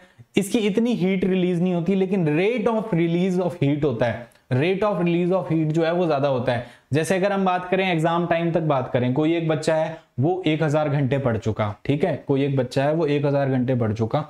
लेकिन डेली बेसिस पे उसने एक घंटे ही पढ़ाई की। कोई एक बच्चा जो है, वो 800 घंटे पढ़ा है, लेकिन उसने डेली दो घंटे पढ़े। तो रेट की अगर हम बात करें तो दो घंटे पढ़े मतलब 400 दिन उसने पढ़ाई की। डेली क्या किया उसने सिर्फ़ दो घंटे पढ़े। तो रेट की अगर हम बात करें, कितने टाइम में कौन एनर्जी ज़्यादा रिलीज़ कर रहा है? वो तो कौन करता है? टेट्रा कैल्शियम एल्यूमिनोफेरेट करता है। लेकिन टोटल एनर्जी की बात करें टोटल हाइड्रेशन की अगर हम बात करें तो ट्राई कैल्शियम एल्यूमिनेट, दोनों का मैं फिर से आपको जो पूरा सीक्वेंस है, वो भी मैं आपको बताऊँगा कि फाइनली आपको याद क्या करना है। अभी सिर्फ़ कहानी सुनते जाइए। उसके बाद आ जाता है दोस्तों, ट्राई कैल्शियम सिलिकेट। सबसे ज़्यादा पूछने वाला सवाल जो है, वो इससे यही है कि इनिशियल स्ट्रेंथ के लिए कौन रिस्पॉन्सिबल होता है? तो वो रिस्पॉन्सिबल होता है ट्राई कैल्शियम सिलिकेट। लगभग शुरू के सात दिन के अंदर ये फॉर्म हो जाता है और जो स्ट्रेंथ प्रोवाइड करेगा, वो इनिशियल स्टेजेस में जो स्ट्रेंथ प्रोवाइड करेगा, वो कौन प्रोवाइड करता है? ट्राई कैल्शियम सिलिकेट ही प्रोवाइड करता है। Di calcium silicate final stage में, एक साल के बाद जो है स्ट्रेंथ का कॉन्ट्रीब्यूशन उसका आना शुरू होता है। तो ट्राई कैल्शियम सिलिकेट सीमेंट को शुरुआती दौर में कौन स्ट्रेंथ प्रोवाइड करता है? वो प्रोवाइड करता है ट्राई कैल्शियम सिलिकेट पैंतालीस से पिचासी प्रतिशत तक ये होता है। अच्छे से जो बर्नट हुए जो क्लिंकर होते हैं, वो किसके होते हैं? वो होते हैं ट्राई कैल्शियम सिलिकेट के होते हैं। जब हम सीमेंट को फॉर्म कर रहे हैं तो जो अच्छे से वेल बर्न क्लिंकर होंगे वेल बर्न जो पार्टिकल्स होंगे, वो कौन से होंगे? ट्राई कैल्शियम सिलिकेट के होंगे। It is form within a week of addition of water ये अर्ली डेवलपमेंट ऑफ़ स्ट्रेंथ के लिए रिस्पॉन्सिबल होता है। डाई कैल्शियम सिलिकेट ये प्रोग्रेसिव स्ट्रेंथ या फिर लेटर स्टेजेस में लगभग लगभग एक साल लग जाएगा उसकी स्ट्रेंथ जो है वो उसका अच्छा खासा कंट्रीब्यूशन आने में सीमेंट के अंदर। तो di calcium silicate later stages में इनिशियल स्टेजेस में आपसे पूछे सात दिन, अट्ठाईस दिन, ऐसा कुछ आपसे पूछे तो वो किसकी वजह से? ट्राई कैल्शियम सिलिकेट की वजह से आता है। याद रहेगा सबको? अच्छा कंपाउंड अगर आपसे पूछे कई बार ये क्वेश्चन भी आया हुआ है एसएससी के अंदर भी और जो स्टेट के एग्ज़ाम है, उनमें भी ये क्वेश्चन पूछा हुआ है कि इनमें से अच्छा कंपाउंड कौन सा है? तो अच्छे कंपाउंड की परिभाषा वैसे तो पूछनी चाहिए कि हाँ अच्छा आप किस सेंस में आप कह रहे हैं यहाँ पर, लेकिन सीमेंट की बात कर रहे हैं तो सीमेंट का काम है बाइंड करने का। बाइंडिंग की फॉर्म में मतलब जो स्ट्रेंथ कौन प्रोवाइड करेगा? स्ट्रेंथ के लिए अगर हम बात करें तो जो बेस्ट सीमेंटिंग की फॉर्म में क्वेश्चन में आपको वैसे तो क्लियरली क्लैरिफाई करना चाहिए कि वो सेटिंग की बात कर रहा है, वो हार्ड होने की बात कर रहा है या स्ट्रेंथ की बात कर रहा है। बेस्ट सीमेंटिंग की बात करें, स्ट्रेंथ की अगर हम बात करें तो उसके नज़र से ट्राई कैल्शियम सिलिकेट जो है, वो बेस्ट मटेरियल होता है। तो अब फटाफट एक बार क्वेश्चंस पे नज़र डालते हैं, कहाँ कहाँ से सवाल पूछते हैं। Tri calcium aluminate flash set से रिलेटेड क्वेश्चन आपसे पूछता है। Maximum heat of hydration higher heat of hydration से रिलेटेड ये पूछता है, ये सवाल इससे रिलेटेड पूछता है। नेक्स्ट बात करें दोस्तों टेट्रा कैल्शियम एल्यूमिनोफेराइड इससे रिलेटेड जो पूछता है, वो पूछता है रेट ऑफ़ हाइड्रेशन से रिलेटेड तो इनिशियली जो इसका रिलीज़ ऑफ़ हीट होगा, वो ज़्यादा होगा या इसका रेट ऑफ़ हाइड्रेशन जो है? रेट ऑफ़ हाइड्रेशन इससे रिलेटेड क्वेश्चन जो है आपसे पूछता है रेट ऑफ़ हाइड्रेशन किसका ज़्यादा होगा? ये क्वेश्चन आएगा इससे रिलेटेड ट्राई कैल्शियम सिलिकेट की अगर हम बात करें तो इससे पूछा जाता है सीमेंटिंग प्रॉपर्टीज़ जो बेस्ट सीमेंटिंग प्रॉपर्टी होगी, वो किसकी वजह से? ट्राई कैल्शियम सिलिकेट पहला सवाल. दूसरा सवाल इनिशियल स्ट्रेंथ के लिए कौन रिस्पॉन्सिबल होता है? वो होता है ट्राई कैल्शियम सिलिकेट ये सवाल आपसे पूछा जाता है. Later stages di calcium silicate लगभग एक साल इसको लग जाता है, इसकी पूरी स्ट्रेंथ जो है वो आने में और उसके बाद भी वो धीरे धीरे स्ट्रेंथ जो है वो आती रहती है। तो जहाँ जहाँ पर अर्ली स्ट्रेंथ की रिक्वायरमेंट है, वहाँ पर आप ट्राई कैल्शियम सिलिकेट यूज़ करो, उसकी क्वांटिटी ज़्यादा यूज़ करो। जहाँ पर लेटर स्टेजेस में स्ट्रेंथ ज़्यादा चाहिए, वहाँ पे आप सी जो है वो यूज़ कर लो। अब बात करते हैं दोस्तों हाइड्रेशन ऑफ़ सीमेंट की। जैसा कि अभी हम थोड़ी देर पहले भी बात कर रहे थे। हाइड्रेशन ऑफ़ सीमेंट मतलब सीमेंट जो है, वो वाटर के साथ रिएक्ट करती है। केमिकली जब उसके साथ रिएक्ट कर रही है तो हम उसे बोल देते हैं कि हाइड्रेशन हो रहा है। और उस दौरान जो हीट रिलीज़ होती है, वो हीट रिलीज़ होती है। उसको हम कहते हैं हीट ऑफ़ हाइड्रेशन और ऑर्डिनरी पोर्टलैंड सीमेंट जो होती है, उसके अंदर मतलब ऑर्डिनरी पोर्टलैंड सीमेंट जिसके कॉम्पोजिशन अभी हमने पढ़े कि क्या क्या उसके अंदर इंग्रेडिएंट्स होते हैं इसकी अगर हम बात करें तो उसके लिए लगभग लगभग 89 से 90 कैलोरी पर ग्राम ये होती है। शुरू के सात दिन में 89 से लेके 90 कैलोरी पर ग्राम होती है और बाद में वो टोटल जो है, वो 100 तक पहुँच जाती है, लगभग 90 डेज़ तक। सॉरी, लगभग और 90 से लेके 100 पहुँच जाती है 28 डेज़ में। 90 से लेके 100 पहुँच जाती है कहाँ पर? 28 डेज़ में। तो इनिशियली ये ज़्यादा होती है, शुरू के सात दिन में तभी हम क्योरिंग जो है वो इनिशियली ज़्यादा प्रोवाइड करते हैं, ऐसा थोड़ी ना कि स्ट्रक्चर बन गया और आज भी आप क्योरिंग कर रहे हैं उसकी। जो शुरुआती दौर है, वहाँ पर हीट ऑफ़ हाइड्रेशन ज़्यादा रिलीज़ होती है, इसीलिए हम वहाँ पर प्रोवाइड करते हैं। अब वाटर की रिक्वायरमेंट की बात आती है दोस्तों तो वाटर जो है वो क्या, कितना यूज़ करेंगे? पानी कितना यूज़ होगा? तो लगभग लगभग 23 परसेंट वेट ऑफ़ सीमेंट के 23 परसेंट हम वाटर जो है वो यूज़ करते हैं। 23 परसेंट जो है वो हाइड्रेशन के लिए वाटर की जो रिएक्शन करवाने के लिए सीमेंट के लिए। 23 परसेंट वाटर चाहिए। सीमेंट को हाइड्रेट करवाना है केमिकली तो लगभग 23 परसेंट जो है वाटर चाहिए। उसके बाद कुछ पानी चला जाएगा उसके वॉइड में। कुछ वाटर जो है वो उसके वॉइड में चला जाएगा, लगभग 15 परसेंट। तो टोटल जो वाटर की क्वांटिटी हमें चाहिए, वो वाटर की क्वांटिटी हमें कितनी चाहिए होती है? वो 23 प्लस 15 कितनी चाहिए होती है? 23 प्लस 15 तो 38 परसेंट हमें वाटर जो है वो चाहिए होता है। या आप ये कह लीजिए सीमेंट का हाइड्रेशन करवाना है तो 38 परसेंट हमें चाहिए होता है। अब बात आती है दोस्तों, जितना ज़्यादा आप वाटर इंक्रीज करते जाते हैं ना, उतना ही ज़्यादा क्या हो जाता है सीमेंट जो है, उसकी स्ट्रेंथ ओवरऑल कंक्रीट के अंदर उसकी स्ट्रेंथ जो है वो रिड्यूस हो जाती है। जितना ज़्यादा आप वाटर इंक्रीज करते जाते हैं, उतना ही उसकी स्ट्रेंथ जो है वो क्या हो जाती है रिड्यूस हो जाती है। तो वाटर सीमेंट रेशियो जो बहुत इंपॉर्टेंट रोल प्ले करता है, ये लगभग हम पॉइंट फोर से पॉइंट सिक्स के बीच में रखते हैं, कम रखने की कोशिश करते हैं। तो आपने देखा होगा या आप देखेंगे, अभी तक अगर आपने नहीं पढ़ा तो अभी बस इसी तरीके से सुन लीजिए कि जब हम आरसीसी पढ़ेंगे तो वहाँ पे हम बात करेंगे कि जो हाई स्ट्रेंथ की जो कॉन्क्रीट्स हैं, उनके अंदर जो वाटर की क्वांटिटी है, वो कम रहती है। पॉइंट फोर से भी कम हो जाती है, कई बार पॉइंट थ्री फाइव हम ले लेते हैं। तो क्या हाइड्रेशन नहीं हो रहा वहाँ पे सीमेंट का?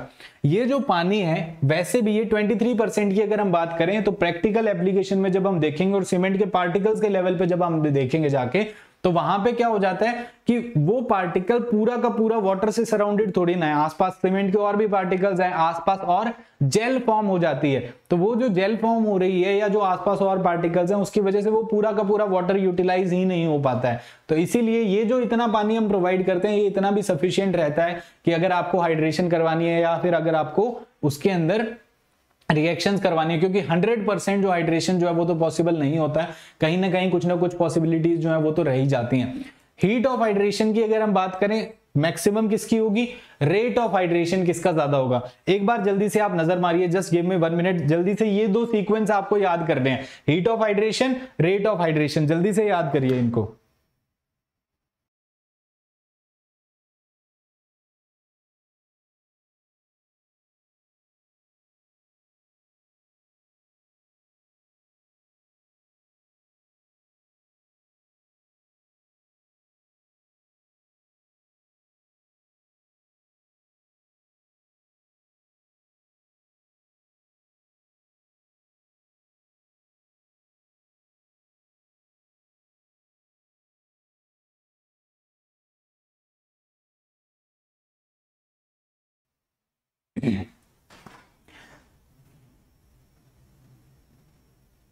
वेट वेट का लेते हैं। जब भी हम प्रोपोर्शन की बात करते हैं बाय वेट याद हो गया सबको?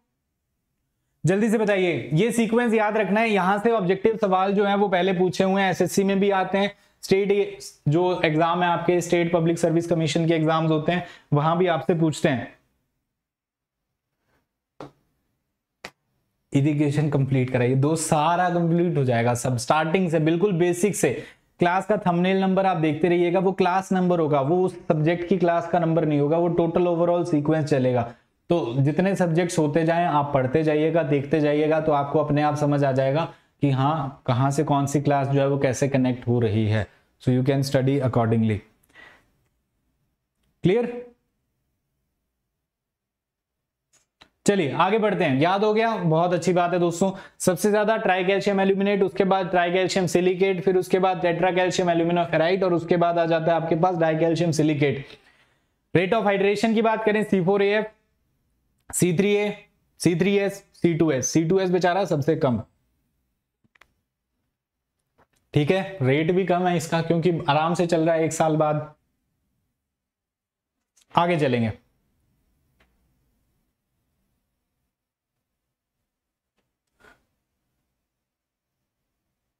आज तो 720p में भी दिख रहा है आई थिंक सो हाँ इस बार की प्लेलिस्ट डेफिनेटली अलग होगी। चलो, किसी को नींद तो नहीं आ रही? मैन्युफैक्चरिंग ऑफ़ सीमेंट की बात करते हैं। सीमेंट की मैन्युफैक्चरिंग के तीन बेसिक प्रोसेस होंगे। सबसे पहले जो इंग्रेडिएंट्स हैं, उनको मिक्स करवाया जाएगा। फिर उसके बाद उनको बर्न करेंगे। बर्न करने के बाद क्लिंकर्स फॉर्म हो जाएँगे। उसके बाद इनकी ग्राइंडिंग कर देंगे। ज़्यादा कुछ खास सवाल इनसे रिलेटेड नहीं आता है। ड्राई मेथड होता है हमारे पास। वेट मेथड होता है। ड्राई मेथड के अंदर वाटर का यूज़ नहीं करेंगे। इंग्रीडियंट्स को मिक्स करने के बाद। और यहाँ पर हम वाटर का यूज़ करते हैं। तो फटाफट से देख लेते हैं क्या इंपॉर्टेंट चीज़ है जहाँ से सवाल पूछते हैं आपको। जो भी क्ले कंटेनिंग या फिर आप ये कह लीजिए आर्जिलेशियस जो कंपाउंड्स होते हैं, जिनके अंदर आ जाते हैं आपके स्लेट और लेटराइट आते हैं, या फिर आप बात कर लीजिए लाइम या मार्बल या जो भी कैल्शियम के कंपाउंड्स हैं कैल्शियम के जो भी आपके पास इंग्रेडिएंट्स हैं, इस तरफ़ आपके पास लाइन के हैं, उनको क्या करेंगे छोटे छोटे पार्टिकल्स में पीस लो ग्राइंड कर लो। ग्राइंड करने के बाद क्या करो, उसको आप क्या कर दो मिक्स कर लो। उन दोनों को आपस में क्या कर दो मिक्स कर दो। मिक्स करने के बाद आप उनकी प्री हीटिंग करवाएँगे 800 डिग्री सेल्सियस पर। प्री हीटिंग आप करवाएँगे प्री हीट करवाने के बाद फिर आप टेम्परेचर इंक्रीज करेंगे रोटरी किल्न में। जो किल्स होती हैं बड़ी बड़ी भट्टियाँ होती हैं, जिनके अंदर क्या करते हैं टेम्परेचर बहुत ज़्यादा रहता है, उनके अंदर हम इनको डाल के और टेम्परेचर को इंक्रीज कर देंगे। वो टेम्परेचर इंक्रीज किया जाएगा 1400 से 1500 डिग्री सेल्सियस और ऑब्जेक्टिव में यही सवाल पूछता है। सीमेंट जो है, उसकी बर्निंग प्री हीटिंग कितने टेम्परेचर पर? 800 पर। और उसकी बर्निंग जो हम करते हैं, वो बर्निंग करते हैं 1400 डिग्री सेल्सियस से लेके 1500 डिग्री सेल्सियस पर, जहाँ पर सारे कंपाउंड जो है, वो क्या कर जाएँगे? जो भी आपने लाइम सिलिका एल्यूमिना जिप्सम ये आपने जो ऐड किए हैं, ये सारे आपस में क्या कर जाएँगे? फ्यूज हो जाएँगे, मिल जाएँगे। आपस में अच्छे से जब मिक्स हो गए तो उसके बाद क्या बन जाएँगे? उसके क्लिंकर्स बन जाएँगे, जो पार्टिकल्स बन जाएँगे। उन क्लिंकर्स को क्या कर देंगे? छोटे छोटे पार्टिकल्स में उनको तोड़ देंगे। बहुत ही छोटे फाइन जो आपको सीमेंट जैसे दिखाई देती है, फिर उसके बाद वो कूल डाउन अगर हो जाएँगे तो उसके बाद उनकी पैकिंग करके उसको आगे भेज देंगे। वेट मेथड जो पुराने तरीके से जो हम यूज़ करते थे वेट मेथड के अंदर बस कुछ नहीं क्ले कंटेनिंग क्ले कंटेनिंग और जो कैल्शियम कंटेनिंग कंपाउंड्स थे, उनको क्या किया छोटे छोटे पार्टिकल्स में तोड़ा मिक्स किया, उसके बाद उनकी स्लरी बनाई। मतलब उसके साथ वाटर ऐड करके अच्छे से उसको ब्लेंड कर दिया। वाटर ऐड करके अच्छे से उसको ब्लेंड कर दिया मिक्स कर दिया अच्छे से उसको। और उसके बाद क्या किया? उसकी हीटिंग करवा दी किल्स के अंदर और ये टेम्परेचर 1500 से लेके 1600 तो क्वेश्चन में आपसे अगर रेंज पूछे तो 14 से 1500 वो ड्राई प्रोसेस की पूछता है जनरली तो आपको आंसर जो है वो बताना है 1400 से 1500 डिग्री सेल्सियस यही क्वेश्चन इनसे रिलेटेड जो सीमेंट का मैन्युफैक्चरिंग प्रोसेस है, उससे रिलेटेड पूछा जाता है। ज़्यादा सवाल जो आपके आते हैं, वो आते हैं टेस्टिंग ऑफ़ सीमेंट से। टेस्टिंग की अगर हम बात करें तो दो प्रकार से आप टेस्ट कर सकते हैं। सीमेंट जो है, उसको अगर आप यूज़ कर रहे हैं तो टेस्ट उसका करना पड़ेगा आपको। अगर आप बहुत बड़ा प्रोजेक्ट जो है, वो एग्जीक्यूट करने जा रहे हैं, जा रहे हैं, कोई बहुत ही मल्टी स्टोरी बिल्डिंग बनानी है, आपको खुद का मैंशन बनाना है बंगलो बनाना है तो आप ऐसे थोड़े ना है कि, ठीक है मार्केट में अब तो आपके पास अवेलेबल हैं अलग अलग अच्छे ब्रांड्स हैं, जहाँ से डायरेक्टली जाके आप खरीद सकते हैं। लेकिन फिर भी अगर आप एक बिल्डर हैं या आप प्रोफेशनली काम कर रहे हैं तो आप ऑब्वियस सी बात है कि आप चेक करेंगे कि ये सीमेंट कहीं नकली तो नहीं है, इस सीमेंट के अंदर कहीं कोई डिफेक्ट तो नहीं है। पैकिंग हो सकता है फिर भी सेम मिल जाए उसी ब्रांड नेम की, लेकिन हो सकता है अंदर का मटेरियल गड़बड़ हो जाए। तो आप पूरा इंश्योर होना चाहते हैं तो आप करेंगे उसके टेस्ट दो तरीके से टेस्ट कर सकते हैं। एक तो जब फ़ील्ड पे हैं, जब आप साइट पे हैं, वहीं पर टेस्ट कर सकते हैं, जिसे हम बोल देते हैं फ़ील्ड टेस्ट एक आप उस सैंपल को लेबोरेटरी में लेके जाएँगे लैब में लेके जाएँगे आप उसको, और वहाँ पर आप इसका टेस्ट करेंगे। तो फ़ील्ड पे जो जो टेस्ट होते हैं, वो होते हैं आपके, एक तो उसका कलर का टेस्ट होगा, एक फ़िज़िकल प्रॉपर्टी का टेस्ट होगा, एक होगा उसकी स्ट्रेंथ का। तो ये तीन टेस्ट आपके पास रहेंगे, इनको आप याद रख सकते हैं। टेम्परेचर टेस्ट भी होता है कि वो ठंडी लगनी चाहिए, जो सीमेंट है, उसके अंदर अगर आप हाथ डाल के देखें तो वो आपको कूलिंग वाली, जो अच्छी फील होनी चाहिए, ऐसा कुछ होना चाहिए। तो फ़िज़िकल प्रॉपर्टीज़ के जो टेस्ट हैं, जो फ़ील्ड पे हम करते हैं कलर फ़िज़िकल स्ट्रेंथ ये तीन टेस्ट करेंगे हम। फिर उसके बाद लेबोरेटरी के अंदर हम करते हैं, उसकी फाइननेस का पार्टिकल्स कितने छोटे हैं कंसिस्टेंसी का वाटर से रिलेटेड फिर उसके बाद उसकी setting time test soundness test strength का test chemical composition specific gravity and so on ये जो कुछ और टेस्ट हम इसके ऊपर करते हैं, जो लेबोरेटरी में किए जाते हैं यहाँ पर। तो पहले आपको ये समझ में आना चाहिए कौन से फ़ील्ड टेस्ट है, कौन से लेबोरेटरी टेस्ट है, इनसे रिलेटेड ज़्यादातर सवाल आपसे पूछे जाते हैं। फ़ील्ड टेस्ट में अगर हम बात करें दोस्तों तो कलर आपको पता है कि जो सीमेंट है, उसका यूनिफॉर्म ग्रे कलर होना चाहिए। ऐसा नहीं है कि कुछ पार्टिकल्स का कलर कुछ और दिख रहा है, कुछ का और। Uniform grey throughout grey colour आपको दिखाई देना चाहिए। ठीक है? Uniform grey colour throughout आपको क्लियरली दिखना चाहिए, ये पहली प्रॉपर्टी इसमें तो याद करने में कोई मेहनत ही नहीं, आपको सबको पता है। सीमेंट जो है वो यूनिफॉर्म ग्रे कलर आपको दिखाई देता है। दूसरी बात करें तो फ़िज़िकल प्रॉपर्टी का टेस्ट आता है। नेक्स्ट आता है आपके पास physical property test physical property test के अंदर क्या करेंगे? सीमेंट को आप क्या करिए? आप फिंगर्स के बीच में लेके आप क्या करके देखिए? रब करके देखिए। तो स्मूथ फील होना चाहिए। अगर फिंगर्स के बीच में आप उसको रब कर रहे हैं तो वो क्या होना चाहिए? स्मूथ फील होना चाहिए। अगर आप उसको पानी में डाल रहे हैं, अगर आप उसको पानी में डाल रहे हैं तो वो क्या कर जाए? वो सिंक कर जाए। कुछ देर फ्लोट करनी चाहिए, फिर उसके बाद वो क्या कर जाए? सिंक कर जाए। कुछ देर फ्लोट करे, फिर उसके बाद वो सिंक कर जाए। तो cement should sink in water and should not float. कई बार इस पॉइंट में कंफ्यूजन हो जाती है। कुछ जगह पर ऐसे लिखा होता है सीमेंट शुड फ्लोट आगे की चीज़ हम पढ़ते नहीं है। तो वो कुछ देर तक फ्लोट करे, उसके बाद जो है वो क्या कर जाए? सेटल कर जाए। Sample should be free from presence of any lump कोई भी पार्टिकल या लंप जो है, वो उसके अंदर नहीं फॉर्म होने चाहिए। जैसे अगर आप यहाँ पे देखें डायग्राम के थ्रू आप देख सकते हैं लंप जो बन जाते हैं पार्टिकल्स एक साथ इकट्ठे हो जाते हैं, एक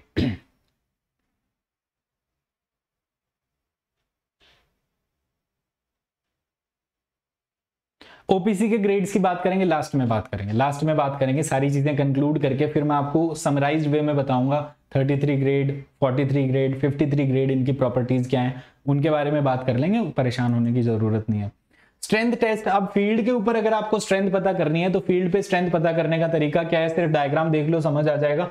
दो सपोर्ट्स लेनी है आपको 150 फिफ्टी mm अपार्ट दो सपोर्ट्स 150 mm दूरी के ऊपर रखी हो एक ब्लॉक लो 25 five by twenty cross section हो उसका, और उसकी लेंथ 200 हंड्रेड mm हो। तो 25 five by twenty five into two का ब्लॉक ले लो। इसके ऊपर आप क्या करो लोड लगाओ 340 न्यूटन का, और अगर ये सस्टेन कर जाए तो वो ठीक है, अगर नहीं कर पाती है तो आपकी सीमेंट जो है वो अनफिट रहेगी। फ़ील्ड पे आपने ये टेस्ट करके बता दिया यहाँ पर। ठीक है? नेक्स्ट आते हैं लेबोरेटरी वाले टेस्ट लैब टेस्ट में बात करें तो पहला आता है फाइननेस का टेस्ट पहला टेस्ट आता है फाइननेस का. पार्टिकल्स जो है वो कितने फाइन है? फाइननेस का टेस्ट हमें क्यों करना पड़ता है? फाइननेस का टेस्ट हमें इसलिए करना पड़ता है ताकि हम ये जान पाए कि वो स्ट्रेंथ जो है वो कितने जल्दी अचीव करेगा. पार्टिकल जितने छोटे होंगे, उतने ज़्यादा वो जल्दी से रिएक्ट करेंगे, उतनी ज़्यादा वो सीमेंट जो है, वो अपनी प्रॉपर्टी को एग्जिबिट कर पाएगी. अगर कोई बड़ा सा पार्टिकल आपने ले लिया तो अब इसके साथ अगर वाटर की रिएक्शन होगी तो ये तो सिर्फ़ यहाँ यहाँ पे रिएक्ट कर पाएगा।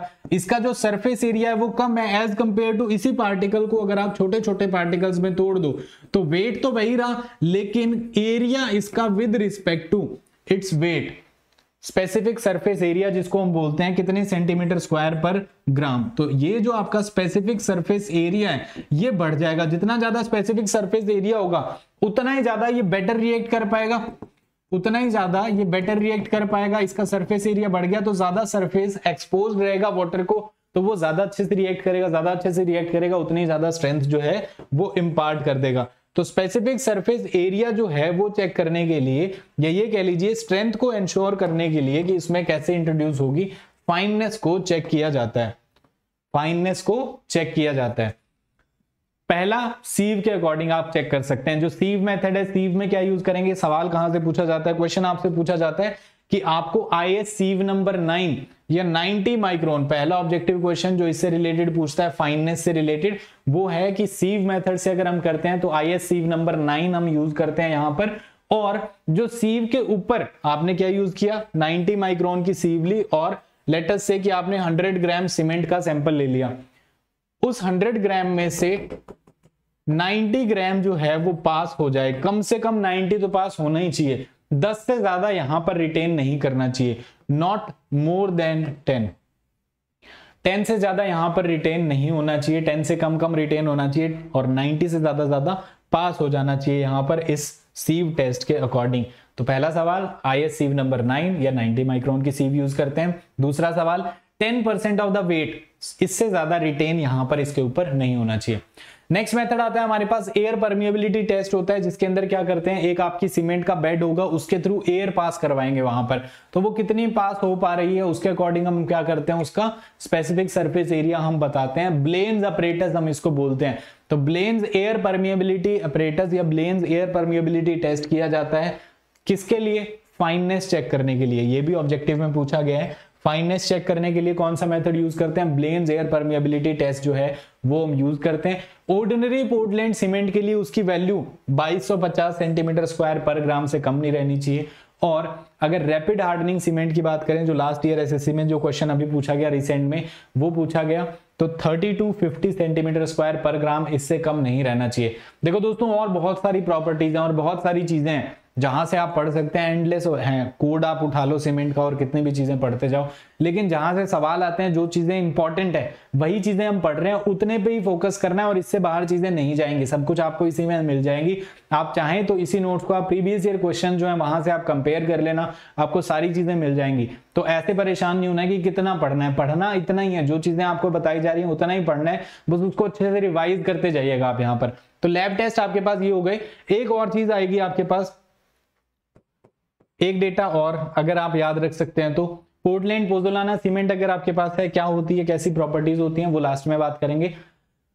300 टू टू फाइव ये किसमें दे रखे हैं? मीटर स्क्वायर पर केजी के अंदर। तो एक ज़ीरो और लगा लीजिए, अगर आप सेंटीमीटर स्क्वायर पर ग्राम में कैलकुलेट कर रहे हैं। ऑर्डिनरी पोर्टलैंड सीमेंट के लिए 2250 फिर उसके बाद रैपिड हार्डनिंग के लिए हम यूज़ करते हैं 3250 और उसके बाद 3000 हम यूज़ करते हैं। पोर्टलैंड पोजोलाना जो सीमेंट है, उसके लिए हम यूज़ करते हैं। अगर आप टेस्ट यूज़ कर रहे हैं सीव टेस्ट तो सीव टेस्ट के करस्पॉन्डिंग 10 ग्राम या 10 percent five percent five percent पिछली बार सवाल पूछा गया रैपिड हार्डनिंग सीमेंट के लिए 30 टू 50 सेंटीमीटर स्क्वायर पर ग्राम इससे कम स्पेसिफिक सरफेस एरिया नहीं होना चाहिए। इस बार हो सकता है रेजिड्यू से रिलेटेड पूछे तो सीव टेस्ट से रिलेटेड अगर सवाल पूछता है तो 10 वाला तो आप ऑलरेडी जानते हैं 5 5 और याद कर लीजिए रैपिड हार्डनिंग के लिए 5 और ऑर्डिनरी पोर्टलैंड सीमेंट के लिए 10 होता है। ठीक है, आगे बढ़ते हैं। Standard consistency test standard consistency test पहला क्वेश्चन आता है स्टैंडर्ड कंसिस्टेंसी टेस्ट हम किससे करते हैं? तो स्टैंडर्ड कंसिस्टेंसी टेस्ट हम करते हैं वाइकेट अपरेटस से। अब इसको वाइकेट अपरेटस बोल दीजिए विकेट अपरेटस विकाट अपरेटस जो आपका मन करे। वाइकेट अपरेटस जो है स्टैंडर्ड कंसिस्टेंसी टेस्ट हम इससे करते हैं।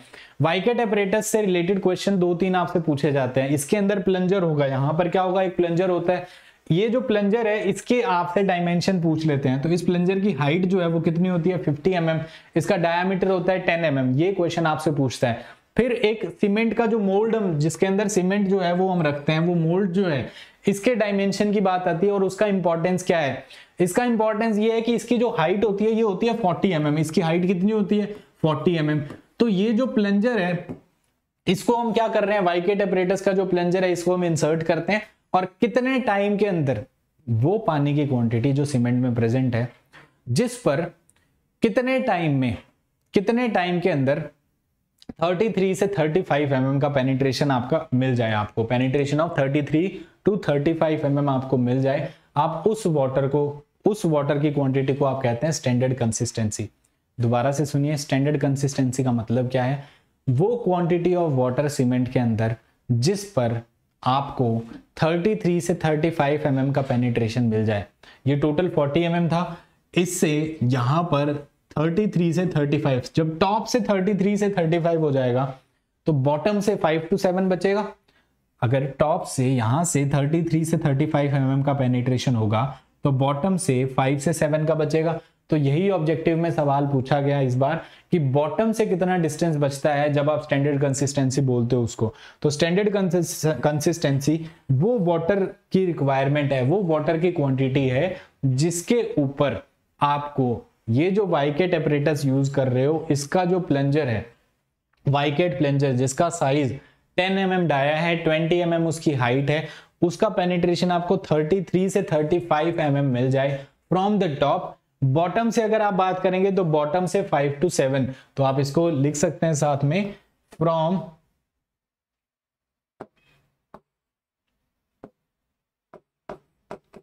five to seven from bottom. Bottom से फाइव टू सेवन होना चाहिए, ठीक है? We find the water content at which cement consistency is produced और इसको हम पी से डिनोट कर देते हैं। जो स्टैंडर्ड कंसिस्टेंसी है, उसको हम पी से डिनोट कर देते हैं। किसी को नींद तो नहीं आ रही? देखो, थोड़ा आराम से चल रहे हैं, क्योंकि सारी चीज़ें समझते हुए चल रहे हैं, सारे क्वेश्चन हम समझते हुए चल रहे हैं। अभी कोई वो तो है नहीं कि आपका दो दिन बाद एग्ज़ाम है या कोई मैराथन हमें करनी है। हाँ ये चीज़ तय रहेगी, जो टॉपिक बताया वो टॉपिक कंप्लीट होगा। अगर सीमेंट की बात की तो सीमेंट कंप्लीट होगा ही होगा। तो हम टॉपिक्स के अकॉर्डिंग चलेंगे rather than just time classes की सर ड्यूरेशन क्या होगी? ड्यूरेशन एक घंटे से दो घंटे कुछ भी हो सकती है. टॉपिक कंप्लीट करना है हमें. एक घंटे में कंप्लीट हो गया तो बढ़िया. दो घंटे में हो रहा है तो बढ़िया. 1.5 पॉइंट आवर्स में हो रहा है तो बढ़िया. जब जितने टाइम की ज़रूरत है उतना टाइम लेंगे. टॉपिक ज़रूर कवर करेंगे हम उसको. ठीक है? स्टैंडर्ड कंसिस्टेंसी टेस्ट की बात हो रही है. स्टैंडर्ड कंसिस्टेंसी टेस्ट के अंदर वो वाटर की रिक्वायरमेंट जिसके ऊपर वाइकेट अपरेटस का जो प्लंजर है जिसकी हाइट है 50 एम mm, जिसका डायामीटर है 10 एम mm, वो पेनिट्रेट करे 33 से 35 एम mm डेप्थ तक from the top of the mould इस मोल्ड के टॉप से लेके 33 से 35 एम mm का पेनिट्रेशन मिले। या फिर बॉटम से हम बात करें तो बॉटम से आपको मिले पाँच से सात का। तब उस वाटर कंटेंट को आप कह देते हैं स्टैंडर्ड कंसिस्टेंसी स्टैंडर्ड कंसिस्टेंसी का यूज़ आगे आगे आएगा। जब हम initial setting time final setting time पढ़ेंगे, उसके अंदर हमारा इसका यूज़ आने वाला है। तो ये पूरी कहानी में सबसे महत्वपूर्ण जो लाइन है वो ये है। वाइकेट एपरेटस के अंदर जो प्लंजर है, उसका हाइट और dia 50 M mm height 10 M mm dia penetration 33 से 35 M mm from the top of the mould from the bottom of the mould वो है आपका 5 to 7 M mm standard consistency समझ में आया? सबको आगे बढ़े। चलो, आगे बढ़े। इसे क्यों करते हैं? इसे इसलिए करते हैं ताकि हम सीमेंट का setting time initial setting time final setting time और जो साउंडनेस टेस्ट हम करते हैं, उन सब के लिए हमें एक अप्रोप्रिएट अमाउंट ऑफ़ वाटर पता हो वाटर की क्वांटिटी पता हो कि कितना वाटर ऐड करके फिर वो टेस्ट करने हैं। उसके लिए हम स्टैंडर्ड कंसिस्टेंसी टेस्ट जो है वो हम अडॉप्ट करते हैं। सेटिंग टाइम टेस्ट जो है सेटिंग टाइम दो प्रकार से कह सकते हैं आप। कि जब सीमेंट अपनी प्लास्टिसिटी प्लास्टिसिटी का मतलब क्या है? कितनी आसानी से आप इसको मोल्ड कर सकते हो, उसको शेप दे सकते हो। कितनी आसानी से आप उसको मोल्ड कर सकते हो। तो सीमेंट जो है, जब अपनी प्लास्टिसिटी लूज करना शुरू करे, उस वक्त को आप कह देंगे कि वो इनिशियल सेटिंग टाइम आ गया। जब वो कंप्लीटली लूज कर दे तो वो आ गया फाइनल सेटिंग टाइम जल्दी से कमेंट करके आप बता दीजिए कि initial setting time for ordinary Portland cement कितना होता है। Final setting time for ordinary Portland cement जो है, वो कितना होता है? जल्दी से बताइए।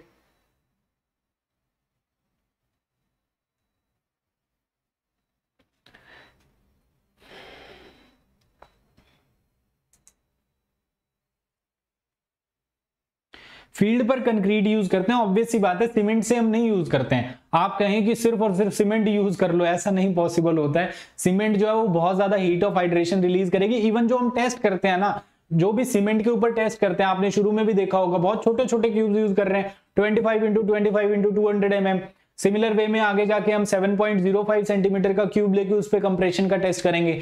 तो जो सीमेंट है, उसका जितना बड़ा साइज़ अगर आप लेंगे, अगर मोल्ड का साइज़ अगर टेस्ट के रूप से ही मैं बात कर लूँ, अगर आपने सीमेंट के बड़े साइज़ ले लिए तो वो क्या कर देगा? श्रिंकेज हो जाएगा, उसमें क्रैक्स आ जाएँगे। आप यूज़ करके देख लेना। या बचपन में आपने यूज़ किया होगा, जब भी आपके घर पे कंस्ट्रक्शन चल रहा होगा तो थोड़ा ऐसे होता है ना कि मैं भी मेरा छोटा मोटा कुछ बनाऊँ। तो आप बना के देख लीजिए, सिर्फ़ सीमेंट को यूज़ कर लीजिए, सिर्फ़ सीमेंट को यूज़ करेंगे, उसमें क्रैक्स आए बिना रहेगा ही नहीं। बहुत ज़्यादा हीट ऑफ़ हाइड्रेशन रिलीज़ हो जाएगा। ठीक है बॉन्डिंग अच्छी होगी, लेकिन फिर भी बाद में स्ट्रेंथ नहीं आएगी, क्योंकि कंक्रीट के अंदर क्या होता है? एग्रीगेट कंप्रेशन के अंदर स्ट्रेंथ प्रोवाइड करता है। तो सीमेंट तो बस एक बाइंडिंग मटेरियल है, सिर्फ़ बाइंडिंग के कारण थोड़ी ना स्ट्रेंथ कैरी हो जाएगी उसकी।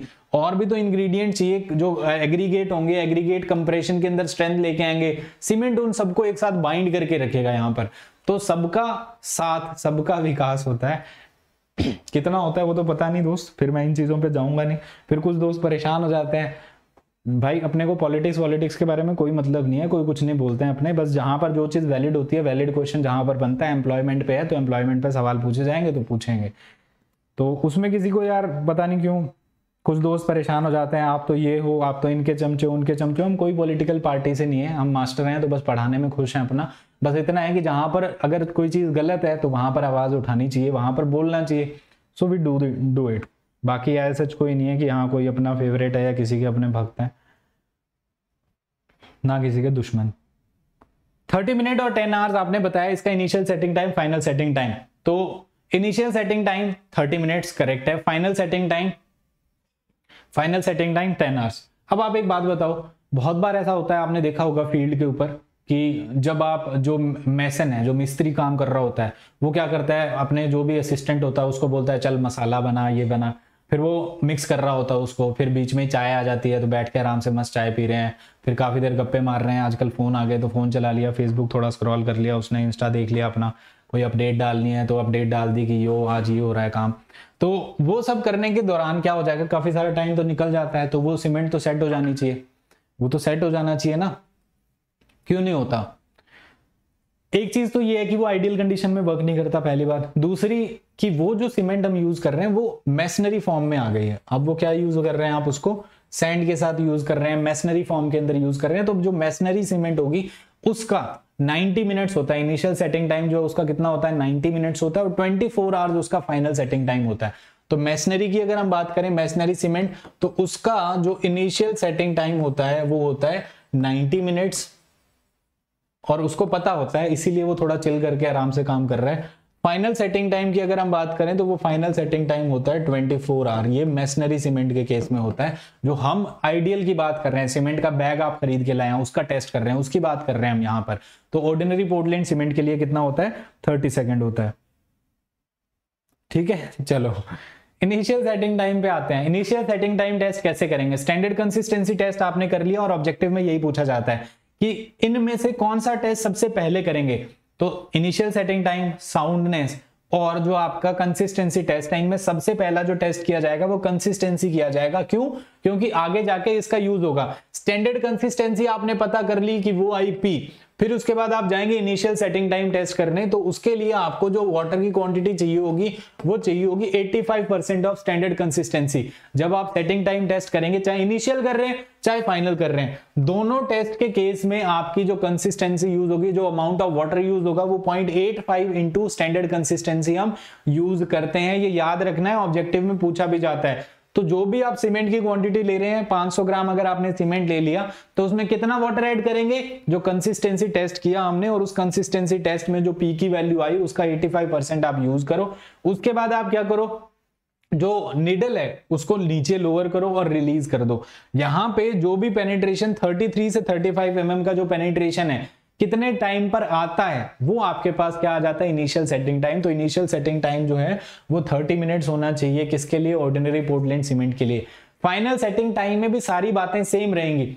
अंतर कहाँ आया? फाइनल सेटिंग टाइम कब बोलेंगे? जब cement completely loses its plasticity जब प्लास्टिसिटी लूज करना शुरू करती है, वो इनिशियल सेटिंग टाइम जब कंप्लीटली लूज कर देती है तो फाइनल सेटिंग टाइम हम इसको बोलते हैं। तो फाइनल सेटिंग टाइम में सारी बातें सेम रहेंगी। सबसे पहले आपने क्या टेस्ट किया? कंसिस्टेंसी टेस्ट किया। कंसिस्टेंसी टेस्ट करने के बाद आपने कहा कि सेटिंग टाइम पता कर रहे हैं तो सेटिंग टाइम चाहे इनिशियल है, चाहे फाइनल है, दोनों ही के केस में 85 परसेंट ऑफ़ स्टैंडर्ड कंसिस्टेंसी आप इतना वाटर लेंगे 85 percent of standard consistency standard consistency वो वाटर का क्वांटिटी था जिसके ऊपर आपका वाइकेट अपरेटस जो है उससे प्लंजर का पेनिट्रेशन 33 से 35 एम mm आपको पेनिट्रेशन मिलता है from the top of the mould या 5 टू 7 एम mm मिलता है from the bottom of the mould वो आप स्टैंडर्ड कंसिस्टेंसी बोलते हैं।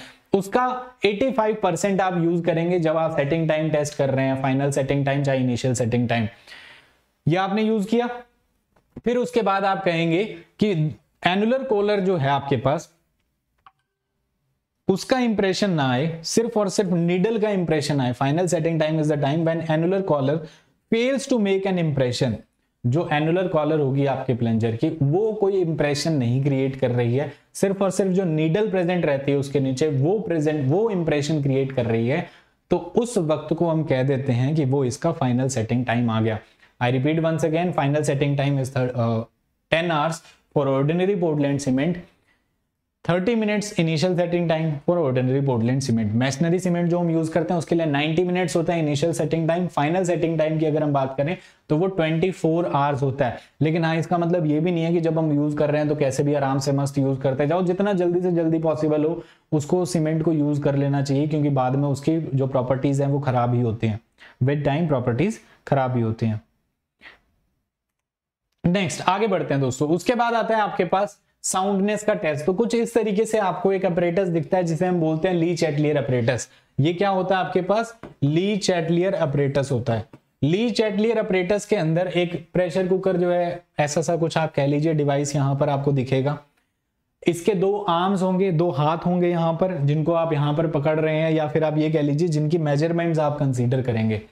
इसके अंदर ऊपर और नीचे, इसके ऊपर और नीचे आप ग्लास प्लेट लगा सकते हैं, उसके बाद उसके ऊपर वेट भी आप रख सकते हैं, कुछ अगर रखना है। इसके बीच में सीमेंट का पेस्ट जो है वो इस मोल्ड में, इस खाली जगह के अंदर भर दिया जाएगा। लीच एडलियर ऑपरेटर्स की मदद से हम बस यही चेक करते हैं कि उसके अंदर एक्सपेंशन कितना आ रहा है वॉल्यूम चेंज कितना आ रहा है सीमेंट के अंदर, वो किसकी मदद से करते हैं? साउंडनेस टेस्ट तो साउंडनेस टेस्ट जो है, उसका मतलब क्या है? वॉल्यूम चेंजेस से रिलेटेड इसका मतलब है। एसएससी जेई 2020 के अंदर सवाल क्या पूछा गया? लीच एटलियर अपरेटस जो है, इसकी हाइट पूछी गई। इसका डायामीटर और हाइट दोनों ही कितने होते हैं? तीन सेंटीमीटर होते हैं। डायामीटर और हाइट तीन सेंटीमीटर तो आप इमेजिन कर सकते हैं कितना छोटा होगा, इतना सा होगा। डायामीटर और इसकी जो हाइट है, वो दोनों ही कितने होते हैं? तीन सेंटीमीटर होते हैं। जितने भी सीमेंट के टेस्ट होते हैं, उनके मोल्ड बहुत छोटे छोटे होंगे। सीमेंट के जितने भी टेस्ट होंगे, उनके मोल्ड जो है, वो बहुत छोटे छोटे रहते हैं। आप वाइकेट अपरेटस देख लो। छोटा सा 40 एम mm की हाइट रहेगी यहाँ पर।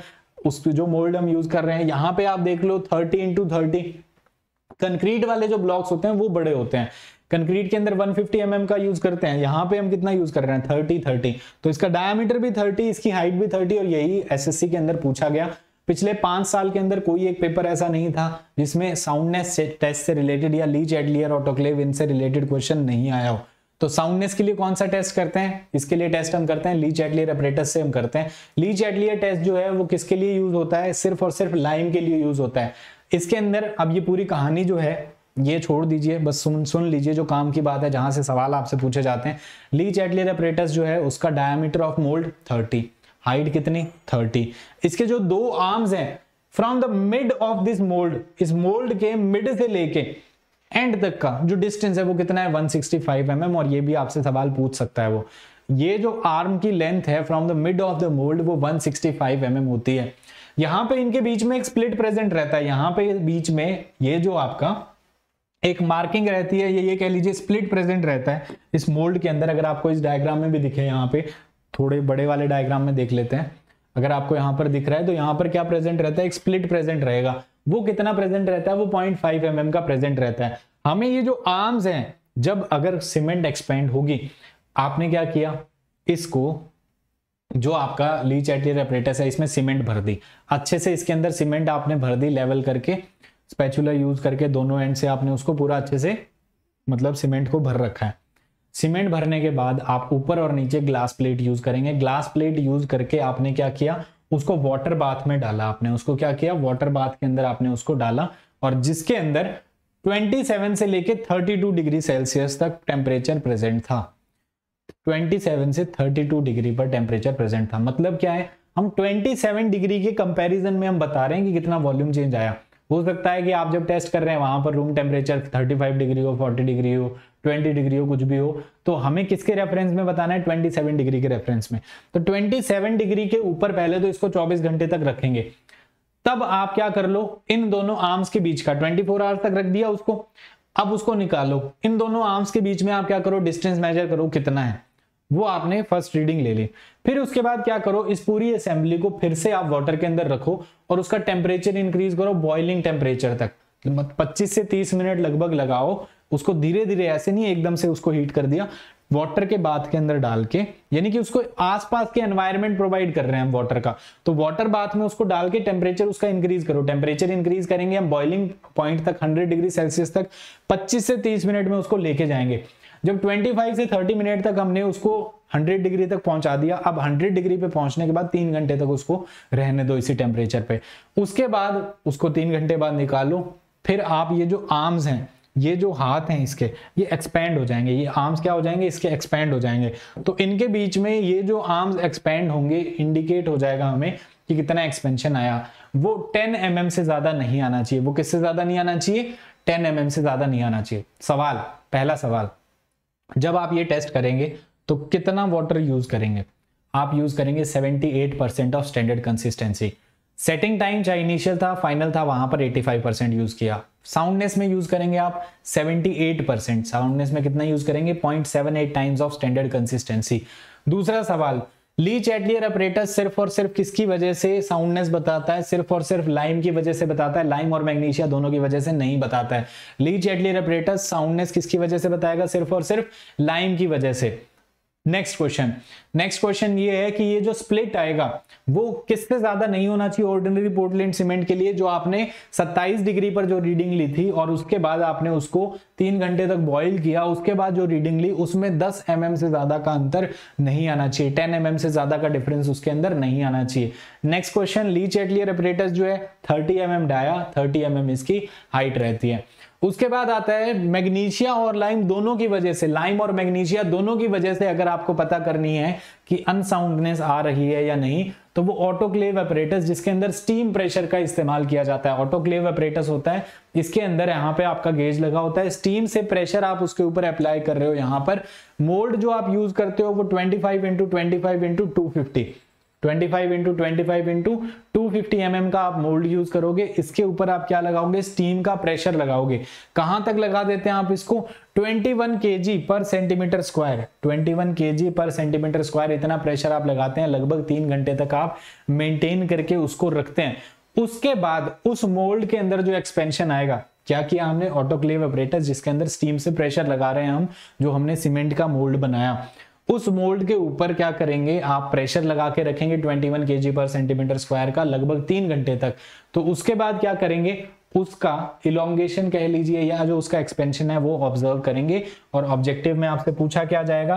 ऑटोक्लेव ऑपरेटर्स के थ्रू जो एक्सपेंशन आया, वो किससे ज़्यादा नहीं होना चाहिए? तो वो पॉइंट परसेंट से ज़्यादा नहीं होना चाहिए। याद रहेगा सबको?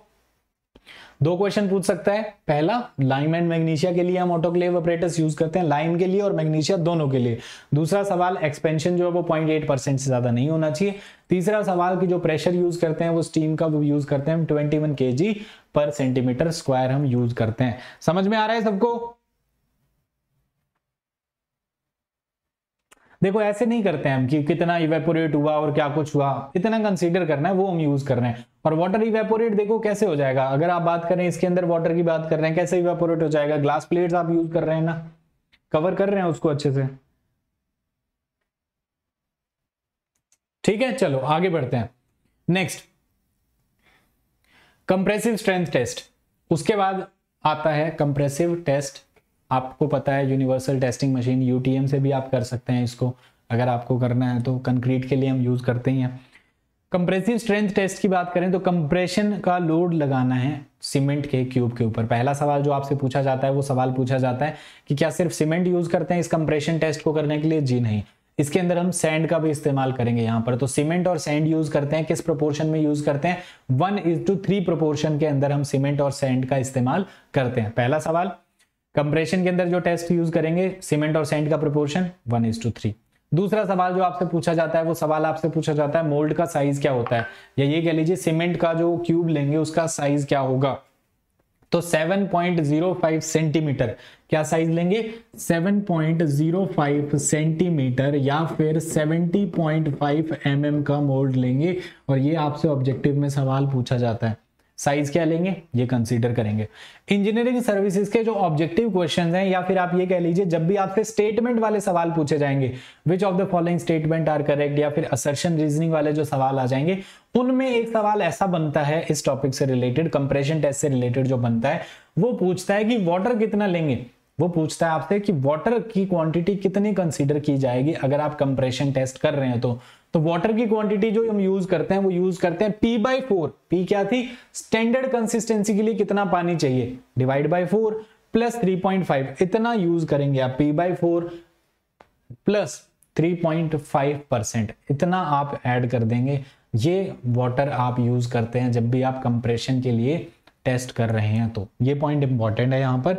जब भी स्टेटमेंट वाले सवाल आएँगे जहाँ पर, उनके लिए ये पॉइंट इंपॉर्टेंट रहेगा। ऑब्जेक्टिव वन लाइनर जो आप एसएससी के अंदर या स्टेट के जो आपके एग्ज़ाम होते हैं, उनमें पूछता है, उनके अंदर तो आपको पता ही है 70.5 पॉइंट mm का मोल्ड यूज़ करेंगे या 7.05 सेंटीमीटर आपको बताना है यहाँ पर। उसके बाद कंप्रेशन टेस्टिंग मशीन या फिर आप यूनिवर्सल टेस्टिंग मशीन इनका आप यूज़ कर सकते हैं। ओपीसी 33 ग्रेड की अगर सीमेंट की बात की जाए तो 28 दिन पर जो स्ट्रेंथ आती है 33 स्टैंड्स फॉर 33 न्यूटन पर एम एम स्क्वायर यही सेम सवाल जो है आपसे एस एस सी 2020 में भी पूछा गया। सेवन डेज़ पर जो स्ट्रेंथ आती है, वो टू थर्ड होती है। और तीन दिन पर लगभग पचास प्रतिशत स्ट्रेंथ जो है, वो आ जाती है। तीन दिन पर लगभग पचास प्रतिशत स्ट्रेंथ आ जाती है।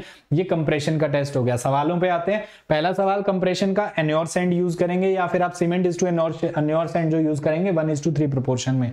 दूसरा सवाल वाटर की क्वांटिटी जो यूज़ करते हैं, वो P by four plus three point five percent हम यूज़ करते हैं। या फिर आप ये कह लीजिए पी जो था, वो क्या स्टैंडर्ड कंसिस्टेंसी है, वो उसका divide by four plus three point five mould का size seventy point five ordinary Portland cement 33 grade की है तो तीन दिन पर 50 परसेंट स्ट्रेंथ सात दिन पर आ जाती है टू थर्ड और 28 डेज़ पर जो स्ट्रेंथ है, वो हम कंसिडर करते हैं 33 न्यूटन पर एम एम स्क्वायर अब दूसरे टेस्ट पे आते हैं। स्ट्रेंथ का जो दूसरा टेस्ट है, वो आता है टेंसाइल का टेस्ट टेंसाइल स्ट्रेंथ अब देखो टेंशन को पता करने के अलग अलग तरीके होते हैं। दो तरीके की टेंशन होती है। एक तरीके जैसे अगर हम घरेलू भाषा में देखें, एक डायरेक्ट टेंशन होती है।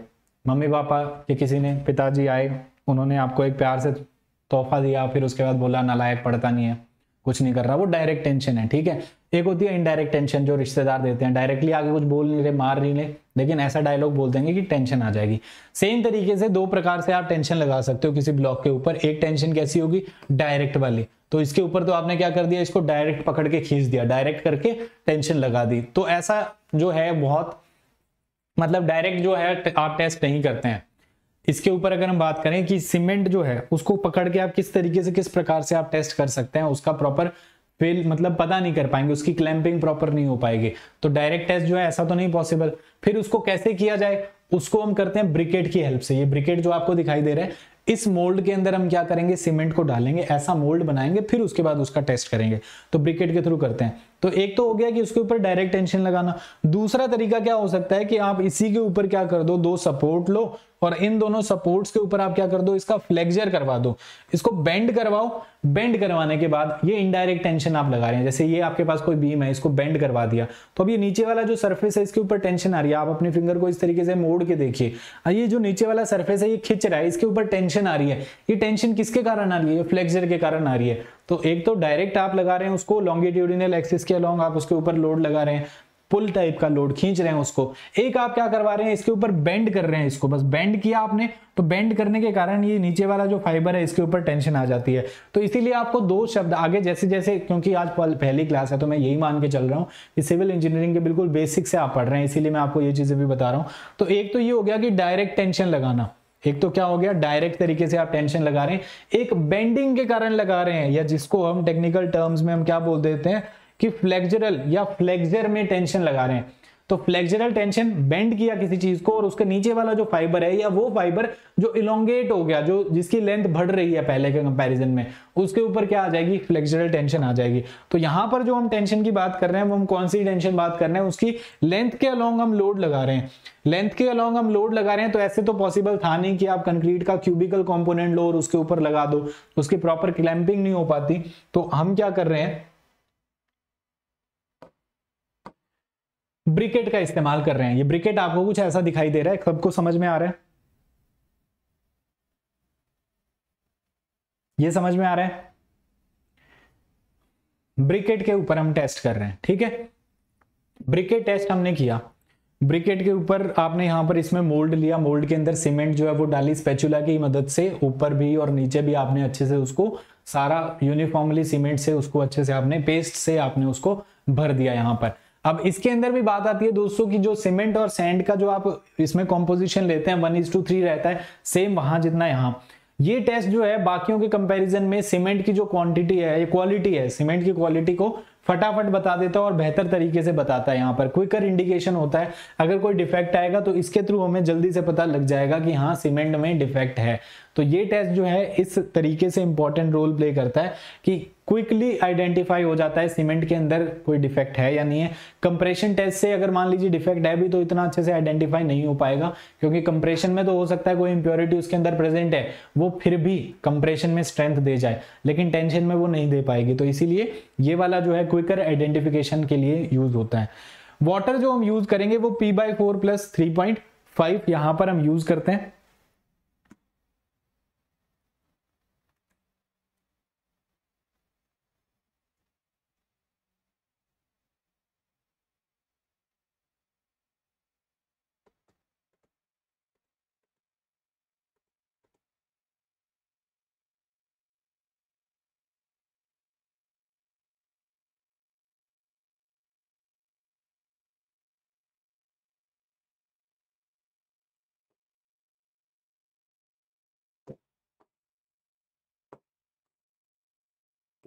ये होगा p by five plus two point five ये वैल्यू होगी p by five plus two point five ये हम यूज़ करते हैं p by five plus two point five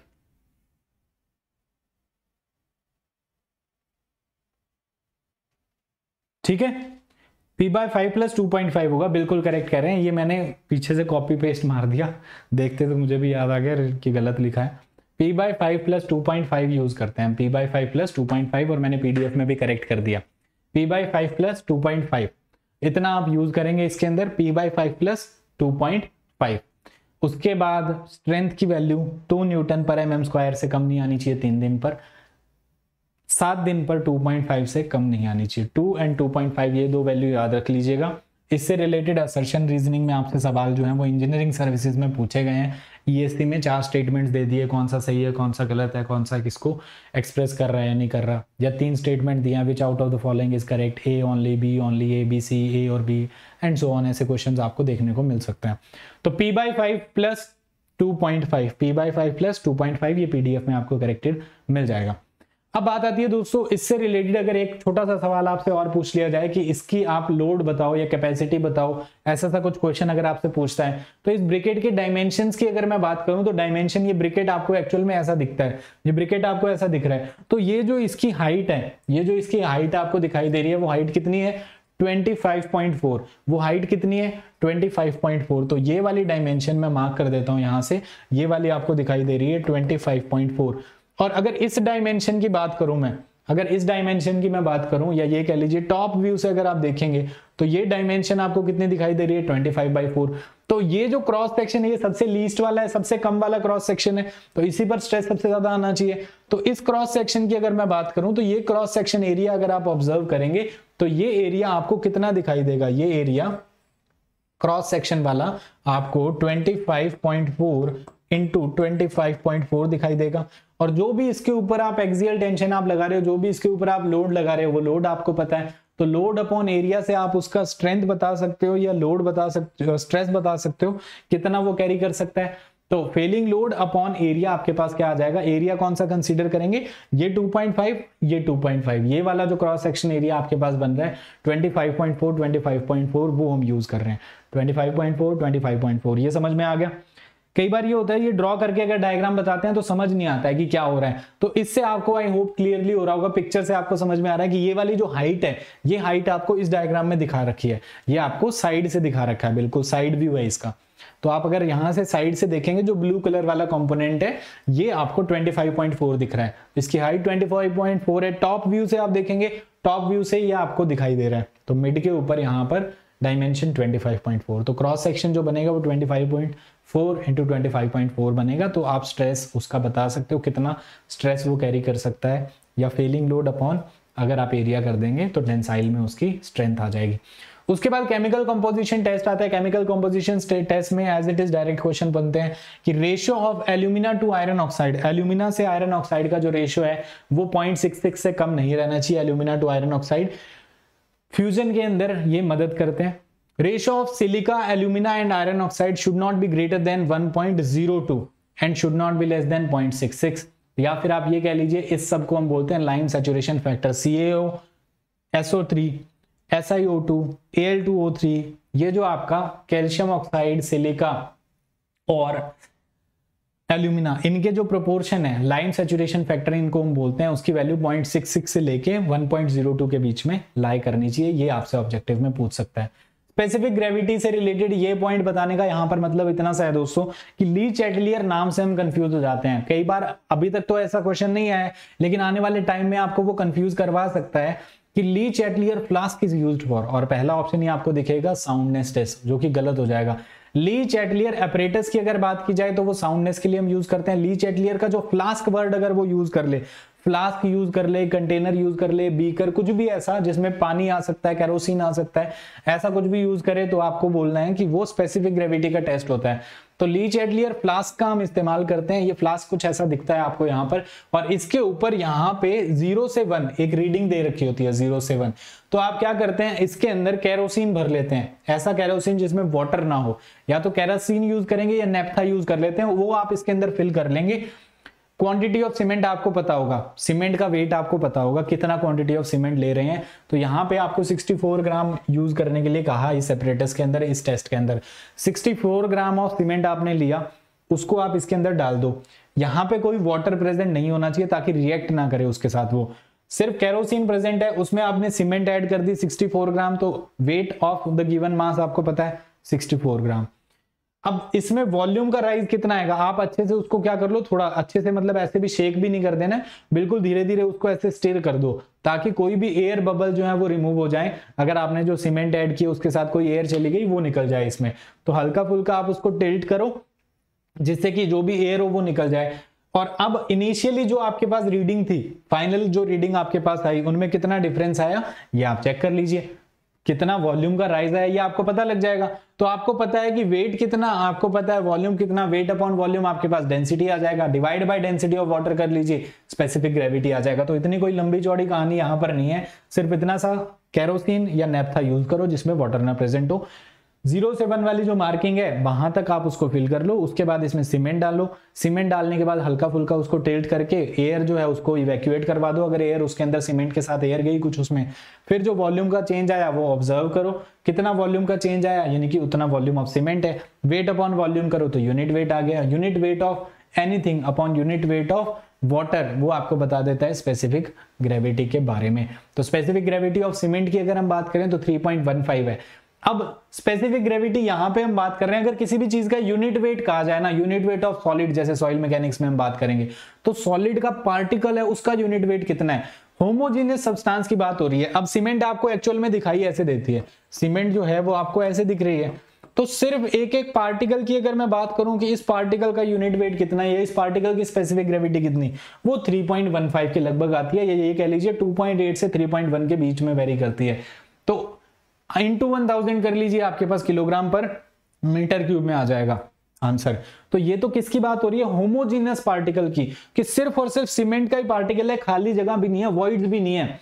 अगर बल्क डेंसिटी की बात की जाए, यानी कि उसमें वॉइड्स वगैरह हैं तो आप कहते हैं वो आती है 1440 केजी पर मीटर क्यूब बल्क डेंसिटी की बात की जाए तो 1440 आप यूज़ करते हैं। और अगर आपसे पूछा जाए, सिर्फ़ और सिर्फ़ सीमेंट के पार्टिकल का बताओ कि सिर्फ़ सीमेंट का पार्टिकल ही पार्टिकल प्रेजेंट है वॉइड भी नहीं प्रेजेंट है, खाली जगह भी नहीं है वहाँ पर। तब आप बोलेंगे 3.15 तो स्पेसिफिक ग्रेविटी पूछे 3.15 density of cement bulk density of cement आपसे पूछे तो 1440 केजी पर मीटर क्यूब आपको बताना है।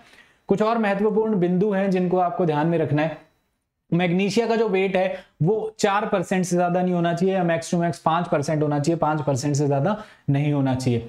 अगर आप सीमेंट को बर्न करते हैं, इग्नाइट करते हैं 1000 डिग्री सेल्सियस तक 900 से लेके 1000 डिग्री सेल्सियस तक 900 टू 1000 डिग्री सेल्सियस तक अगर आप सीमेंट को बर्न करते हैं तो बर्न करने के बाद चार प्रतिशत से ज़्यादा उसमें लॉस नहीं आना चाहिए। उसके अंदर जो वेट का लॉस है, वो चार प्रतिशत से ज़्यादा ना आए वहाँ पर। सल्फ़र के कंटेंट की बात करें तो 2.75 परसेंट से ज़्यादा सल्फ़र का कंटेंट जो है, वो नहीं प्रेजेंट होना चाहिए। इनसॉल्यूबल ना घुलने वाला, जो घुले ना इनसॉल्यूबल हो, ऐसा रेजिड्यू सीमेंट के अंदर 1.5 प्रतिशत से ज़्यादा ना हो। ये कुछ और पॉइंट्स हैं जो आपके इंजीनियरिंग सर्विसेज़ में या अलग अलग एग्ज़ाम्स में आए हुए क्वेश्चंस जो हैं, उनके थ्रू कुछ पॉइंट्स जो है निकाले हुए हैं कि ये भी क्वेश्चंस में पूछ लेता है। तो ये भी आप याद रखेंगे। उसके बाद दोस्तों बात आती है कि ऑर्डिनरी पोर्टलैंड सीमेंट है, इसके बारे में क्वेश्चन पूछे गए हैं कि 33 ग्रेड का मतलब क्या है कि इसकी 28 डेज़ पर जो इसकी स्ट्रेंथ है, वो आती है थर्टी थ्री न्यूटन पर M M square. Forty three grade का मतलब क्या है? ट्वेंटी डेज़ पर जो स्ट्रेंथ है, वो फोर्टी थ्री न्यूटन पर एम एम स्क्वायर आएगी एंड सिमिलरली फिफ्टी थ्री के लिए भी यूज़ करते हैं। इनके कोड याद रखने की एज सच रिक्वायरमेंट नहीं है। बस एक बार रीड कर लेना, कहीं कोई क्वेश्चन दिखे तो आप इसको रिलेट कर सकते हैं। और डिटेल्स में पढ़ना हो इनकी प्रॉपर्टीज़ को तो आप यूज़ कर सकते हैं, लेकिन हमारे काम की जितनी चीज़ें हैं, उसके बारे में अगर हम बात करें दोस्तों तो एक क्वेश्चन आया नहीं है अभी तक, लेकिन पूछ सकता है। आने वाले समय में कभी पूछ सकता है, वो क्या पूछ सकता है आपसे कि सीमेंट का क्लासिफिकेशन हम फिर से IS code one zero two six two 10262 के तहत ऑर्डिनरी पोर्टलैंड सीमेंट को फर्दर डिवाइड किया गया कैटेगराइज किया गया उसकी 28 दिन पर जो स्ट्रेंथ है, उसके हिसाब से 28 डेज़ पर जो उसकी स्ट्रेंथ आती है, उसके हिसाब से उसको कैटेगराइज किया गया। और उसकी स्ट्रेंथ जो है, वो 32.5 से लेके लगभग 62.5 यहाँ तक डिफाइन की गई। 32.5 से लेके 62.5 तक डिफाइन की गई। और उसके अंदर A B C D E F आपने जो क्लासेस हैं या जो ग्रेड्स हैं, वो बना दी। हमारे काम की चीज़ क्या है? आपसे सवाल जो है, वो क्या पूछ सकता है? वो आपसे ये पूछेगा। Grade 33 ordinary Portland cement of grade 33 कौन सी कैटेगरी में लाई करता है? आपको दिख रहा है यहाँ पर स्ट्रेंथ अगर 32 से लेके 37 के बीच में है 32.5 से 37.5 के बीच में है तो आपको दिख रहा है ग्रेड ए में लाई करेगा। सिमिलरली अगर आपसे 43 ग्रेड पूछा जाए तो वो किसमें लाई करेगा? सी में करेगा। अगर आपसे पूछा जाए 53 ग्रेड किस किस ग्रेड में लाई करेगी? 53 वाली जो सीमेंट है 53 ऑर्डिनरी पोर्टलैंड सीमेंट वो ई e, जो आपकी कैटेगरी है उसके अंदर लाई करेगा। So forty three fifty three ज़्यादा से ज़्यादा ऐसा क्वेश्चन आपसे पूछ सकता है। मार्केट की अगर हम बात करें दोस्तों तो मार्केट के अंदर जो आप यूज़ करते हैं फोर्टी थ्री ग्रेड वाली सीमेंट जो मार्केट में यूज़ करते हैं आप 43 ग्रेड वाली सीमेंट वो जनरली उसकी स्ट्रेंथ जो है वो डी कैटेगरी में लाई करती है। वो डी कैटेगरी में लाई करती है। अगर प्रॉपर डेजिग्नेशन के हिसाब से बात करें तो ग्रेड सी ही है, आपको आंसर सी ही बताना है। लेकिन अगर मार्केट की हम बात करें तो मार्केट के अंदर वो जनरली डी कैटेगरी के अंदर लाई कर जाती है। तो ये सिंपल है, याद रहेगा सबको। कुछ मुश्किल है सच टेबल वेबल जो है 32.5 से 62.5 याद रख लीजिए। यहाँ पे आपको पाँच पाँच का डिफरेंस दिखाई दे रहा है, पाँच, फिर उसके बाद पाँच, फिर उसके बाद पाँच पाँच पाँच and so on five five का डिफरेंस आ रहा है A B C D E F category के अंदर।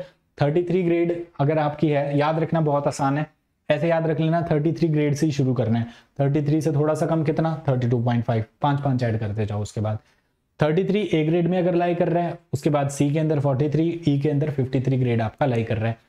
इनकी प्रॉपर्टीज़ से रिलेटेड क्वेश्चन पूछेगा। अब इस टेबल को देख के तो बिल्कुल नहीं घबराना है, क्यों? क्योंकि बहुत आसान है। याद कर चुके हैं आप बहुत सारी चीज़ें पहले ही। पहली प्रॉपर्टी की बात करते हैं फाइननेस फाइननेस आप ऑलरेडी पढ़ चुके हैं। ये समराइज वे में है। सारी चीज़ें जो हमें कंफ्यूजन हो जाती है ना, कि 33 ग्रेड के लिए कितना होगा 43 के लिए कितना होगा 53 के लिए कितना होगा उसकी बात कर रहे हैं। फाइननेस की अगर हम बात करें तो फाइननेस ब्लेन्स एयर परमिएबिलिटी जो है मेथड इससे हम यूज़ करते हैं। 33 ग्रेड होगा, उसके लिए 2250 2250 2250 क्लियर ली चैटलियर अपरेटस के अंदर हमने बात की थी। ली चैटलियर अपरेटस साउंडनेस के लिए टेस्ट करते हैं और 10 एम mm से ज़्यादा उसके जो आर्म्स हैं, वो स्प्लिट 10 एम mm से ज़्यादा स्प्लिट नहीं आना चाहिए। जो आर्म्स हैं, वो दूर जाएँ। वो 10 एम mm से ज़्यादा नहीं जाने चाहिए। याद कर लिया। दोबारा याद करने की ज़रूरत नहीं सेम होता है। ऑटोक्लेव की हमने बात की थी। ऑटोक्लेव अपरेटस के अंदर पॉइंट से ज़्यादा एक्सपेंशन नहीं आना चाहिए। ऑलरेडी याद कर लिया। कोई मेहनत नहीं हुई। यहाँ कोई मेहनत नहीं हुई। आपकी मेहनत इसमें काउंट नहीं होगी। उसके बाद initial setting time final setting time किसकी हेल्प से पता करते हैं? वाइकेट अपरेटस की हेल्प से मतलब पता करते हैं। थर्टी मिनट होता है टेन आवर्स होता है thirty minute ten hour thirty minute ten hour कोई मेहनत हुई? नहीं हुई नहीं काउंट होगा। Compression strength test UTM machine से करते हैं।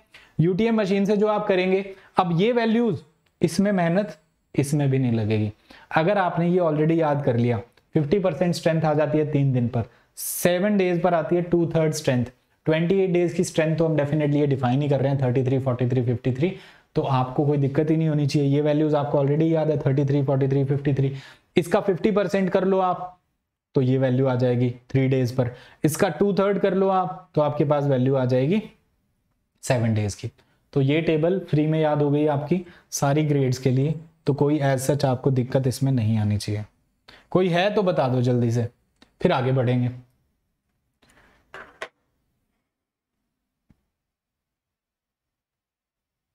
जल्दी से बताओ।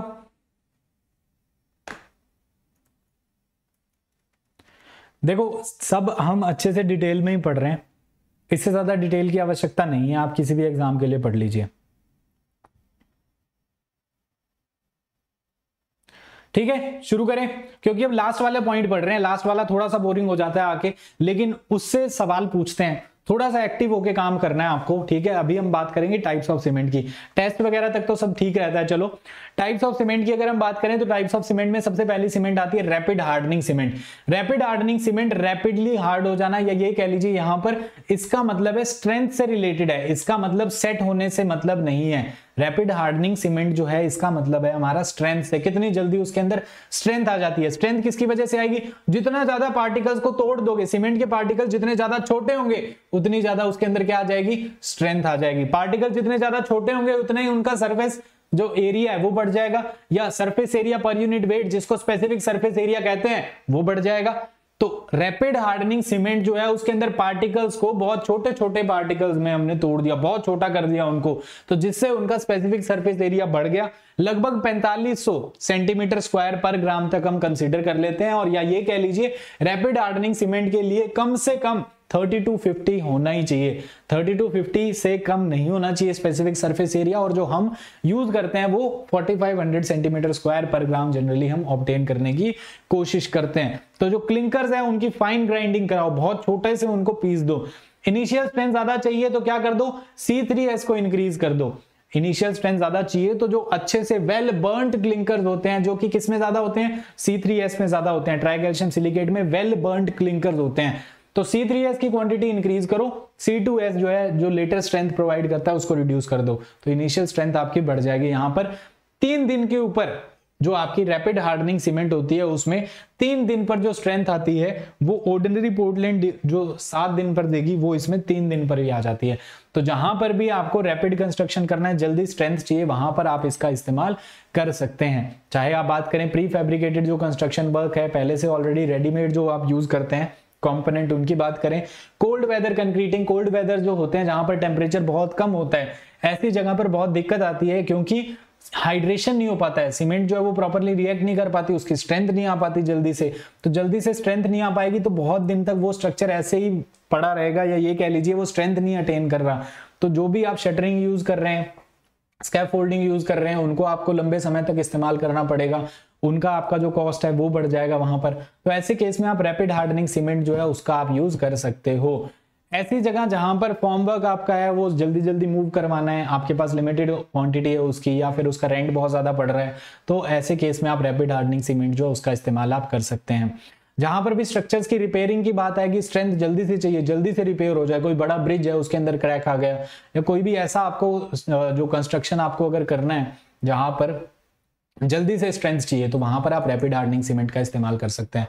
एक्स्ट्रा रैपिड हार्डनिंग के अंदर क्या हो जाएगा? यहाँ पर आप यूज़ कर देते हैं कैल्शियम क्लोराइड का, जिसको दो परसेंट से ज़्यादा हम यूज़ नहीं करते हैं, टू परसेंट तक हम यूज़ करते हैं। बहुत ही ज़्यादा फाइनर पार्टिकल्स यूज़ किया आपने सीमेंट किया और साथ में calcium chloride not more than two percent आपने इस्तेमाल किया तो वो क्या कर देगा? और अच्छे से स्ट्रेंथ जो है वो प्रोवाइड कर देगा। और इस सीमेंट को आपको 20 मिनट के अंदर सारा काम आपको करना पड़ेगा। जैसे ही आप इस सीमेंट के अंदर वाटर ऐड कर दिया तो इसको मिक्स करना ट्रांसपोर्ट करना फिनिशिंग करना, सब कुछ 20 मिनट के अंदर अंदर आपको प्रोवाइड करना है।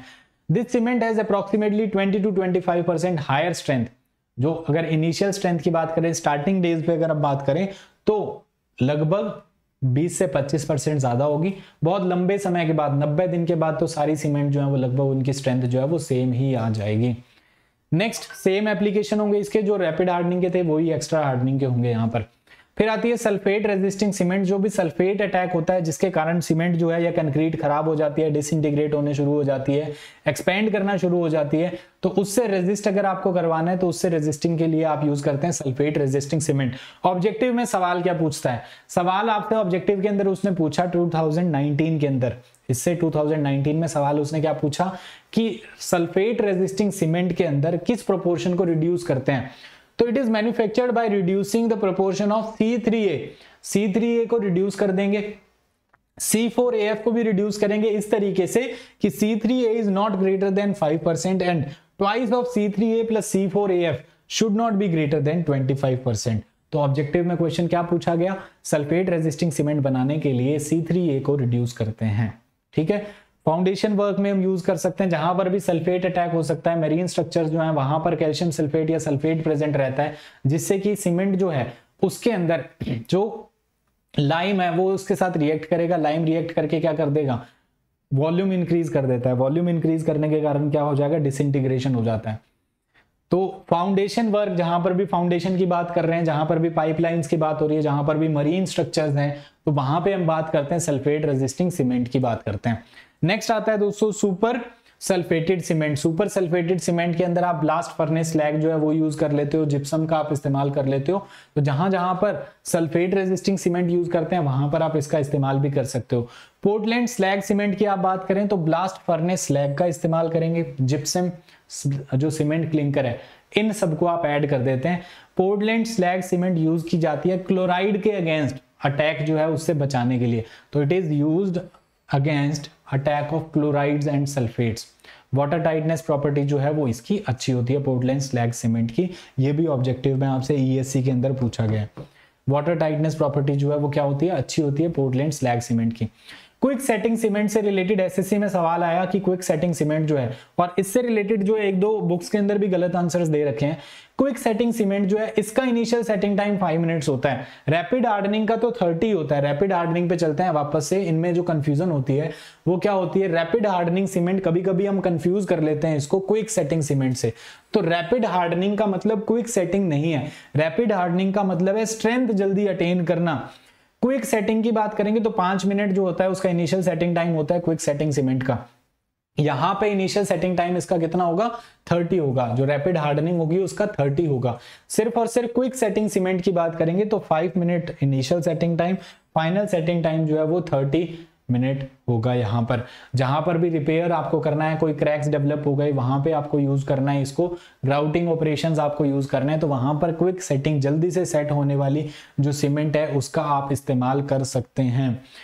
क्योंकि आपको यहाँ पर क्या करना है जल्दी जल्दी उसको सेट करवाना है तो आप क्या कर दो?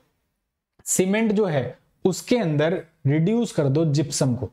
जिप्सम को रिड्यूस कर दो। जिप्सम सेटिंग टाइम को बढ़ाता है सेटिंग टाइम को घटाना है तो जिप्सम को रिड्यूस कर दो।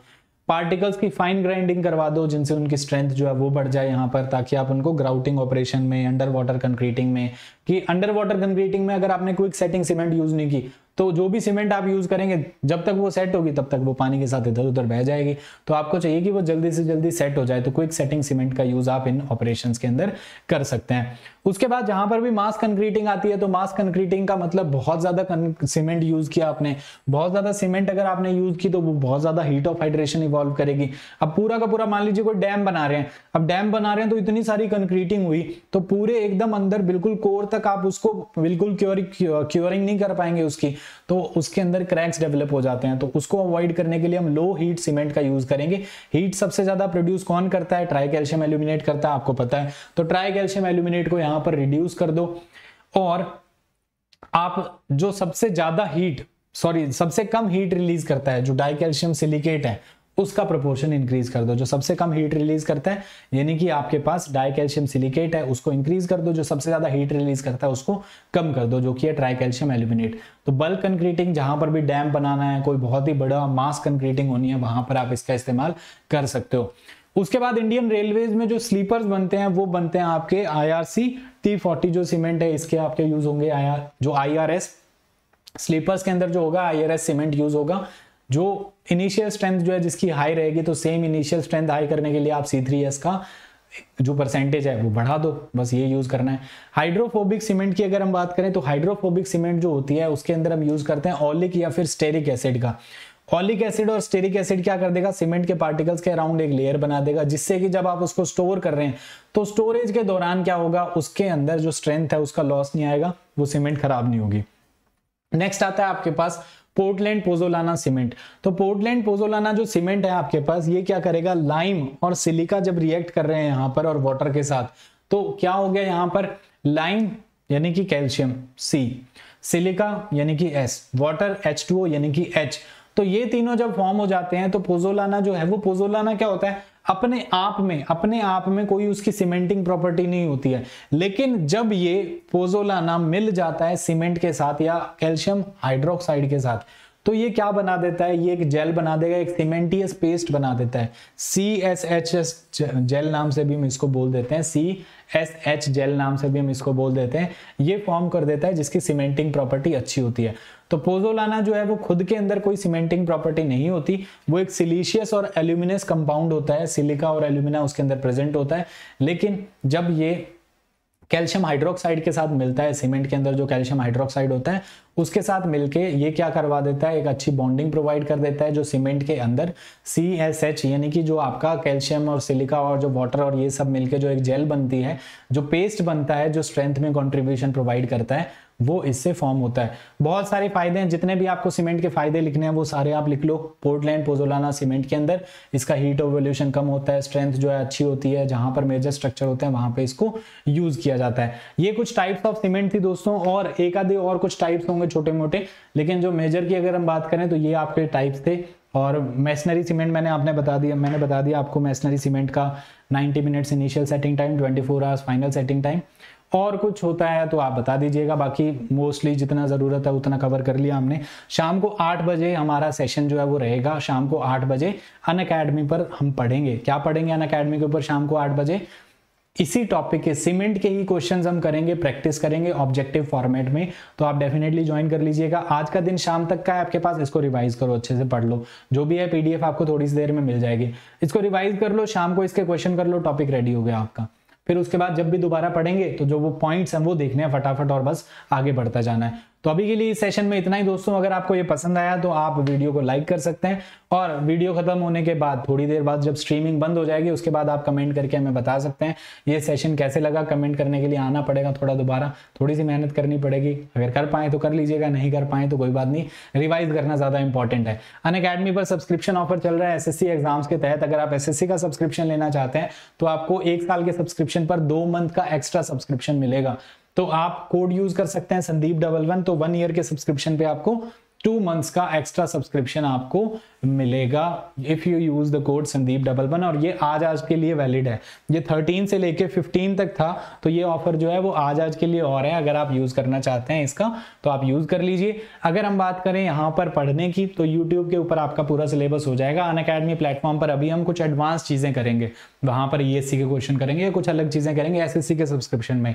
ठीक है? एक्चुअली दोस्तों, ऐसा था कि मीटिंग्स वगैरह भी हुई काफ़ी सारी, जिसमें ये था कि ई कैटेगरी के अंदर अब आप पढ़ाइए। तो वो पॉसिबल सा मुझे मतलब इसलिए नहीं लग रहा, क्योंकि अगर कैटेगरी स्विच कर देते हैं तो काफ़ी सारे दोस्त हैं जिन्होंने ऑलरेडी सब्सक्रिप्शन ले रखा है एसएससी का। तो उस चक्कर में फिर उनका लॉस हो जाता है। वो थोड़ा मेरे को एथिकली सही नहीं लगता। अब इस चक्कर में ये है कि बेस्ट से बेस्ट सॉल्यूशन मैं जो मेरी तरफ़ से कर सकता हूँ, वो ये कर सकता हूँ दोस्तों। और बहुत सारे बच्चे ऐसे भी हैं जिन्हें ई का एग्ज़ाम भी देना है, जिन्हें उसके लिए भी तैयारी करनी है। तो उसके लिए फिर यही ऑप्शन है कि हाँ for the next two two three months जब तक एग्ज़ाम होता है, तब तक एसएससी के अंदर जो है, अभी हम ईएससी e के क्वेश्चन कर लेंगे। यूट्यूब के ऊपर आपका सारा सब कुछ फ्री ऑफ़ कॉस्ट चल रहा है। आपको हर वीकेंड पे आपको कंप्लीट टेस्ट मिलेगा डेली क्वेश्चन की प्रैक्टिस मिलेगी मिक्स टेस्ट मिलेंगे सब्जेक्ट वाइज टेस्ट मिलेंगे, सारे कॉम्बिनेशन आपको मिल जाएँगे and everything free of cost अगर एडवांस में पढ़ना है तो आप सब्सक्रिप्शन भी ले सकते हैं, ये आपके ऊपर है दोस्तों। तो बस आपसे यही उम्मीद है मैं ये नहीं कहूँगा कि हाँ इस वीडियो को लाइक करो शेयर करो, मन आए तो करो। शेयर करना है, मन आए तो करो, नहीं आए तो कोई दिक्कत नहीं है। आपसे लेकिन जो बेसिक एक्सपेक्टेशन मेरी है, वो ये है कि प्लीज़ पढ़ लेना। जितना पढ़ाया जाए, उतना कवर कर लो। जितना पढ़ाया जाए, उतना कवर कर लो। उससे ज़्यादा कुछ करने की ज़रूरत नहीं है। इतना कर लेंगे तो डेफिनेटली सक्सेस मिल जाएगी, ठीक है? हंड्रेड परसेंट आप अपना दे दीजिए। डे वन से लग जाइए, आज से ही लग जाइए। जितना अच्छी शुरुआत करेंगे और उसको आगे कंसिस्टेंट बनाए रखेंगे एंड में जाके आप उतना ही सुखी रहेंगे। लास्ट में जाके तो चीज़ें रिवाइज ही रिवाइज करनी है। बार बार रट रटना है बस। पढ़ लो, जो चीज़ याद कर रखी है उसको बार बार पढ़ लो। तो वो ऐसे हो जाएगा जैसे मतलब बिल्कुल बाय हार्ट कुछ भी चीज़ बोली जाए, कुछ भी फॉर्मूला पूछा जाए इंस्टेंटली बता पाएँगे। वो चीज़ कब आएगी? जब बार बार रिवीजन होगा और रिवीजन बार बार कब कर पाएँगे? जब स्टार्टिंग से हमने सब कुछ पढ़ लिया सिलेबस टाइम पे कंप्लीट करके और फिर रिवाइज कर रहे हैं रिवाइज कर रहे हैं रिवाइज कर रहे हैं तो उससे आपका कॉन्फिडेंस बिल्ट होगा, ठीक है? पीडीएफ इसी पे आपको थोड़ी सी देर में यहाँ पर नीचे कमेंट के अंदर पिन हो जाएगी लिंक मिल जाएगा, वहाँ पर आपको पीडीएफ मिल जाएगी और साथ ही साथ में दोस्तों, आपको टेलीग्राम के ऊपर भी मैं पीडीएफ प्रोवाइड करूँगा, वहाँ पे आप संदीप जानी नाम से आप सर्च कर सकते हैं।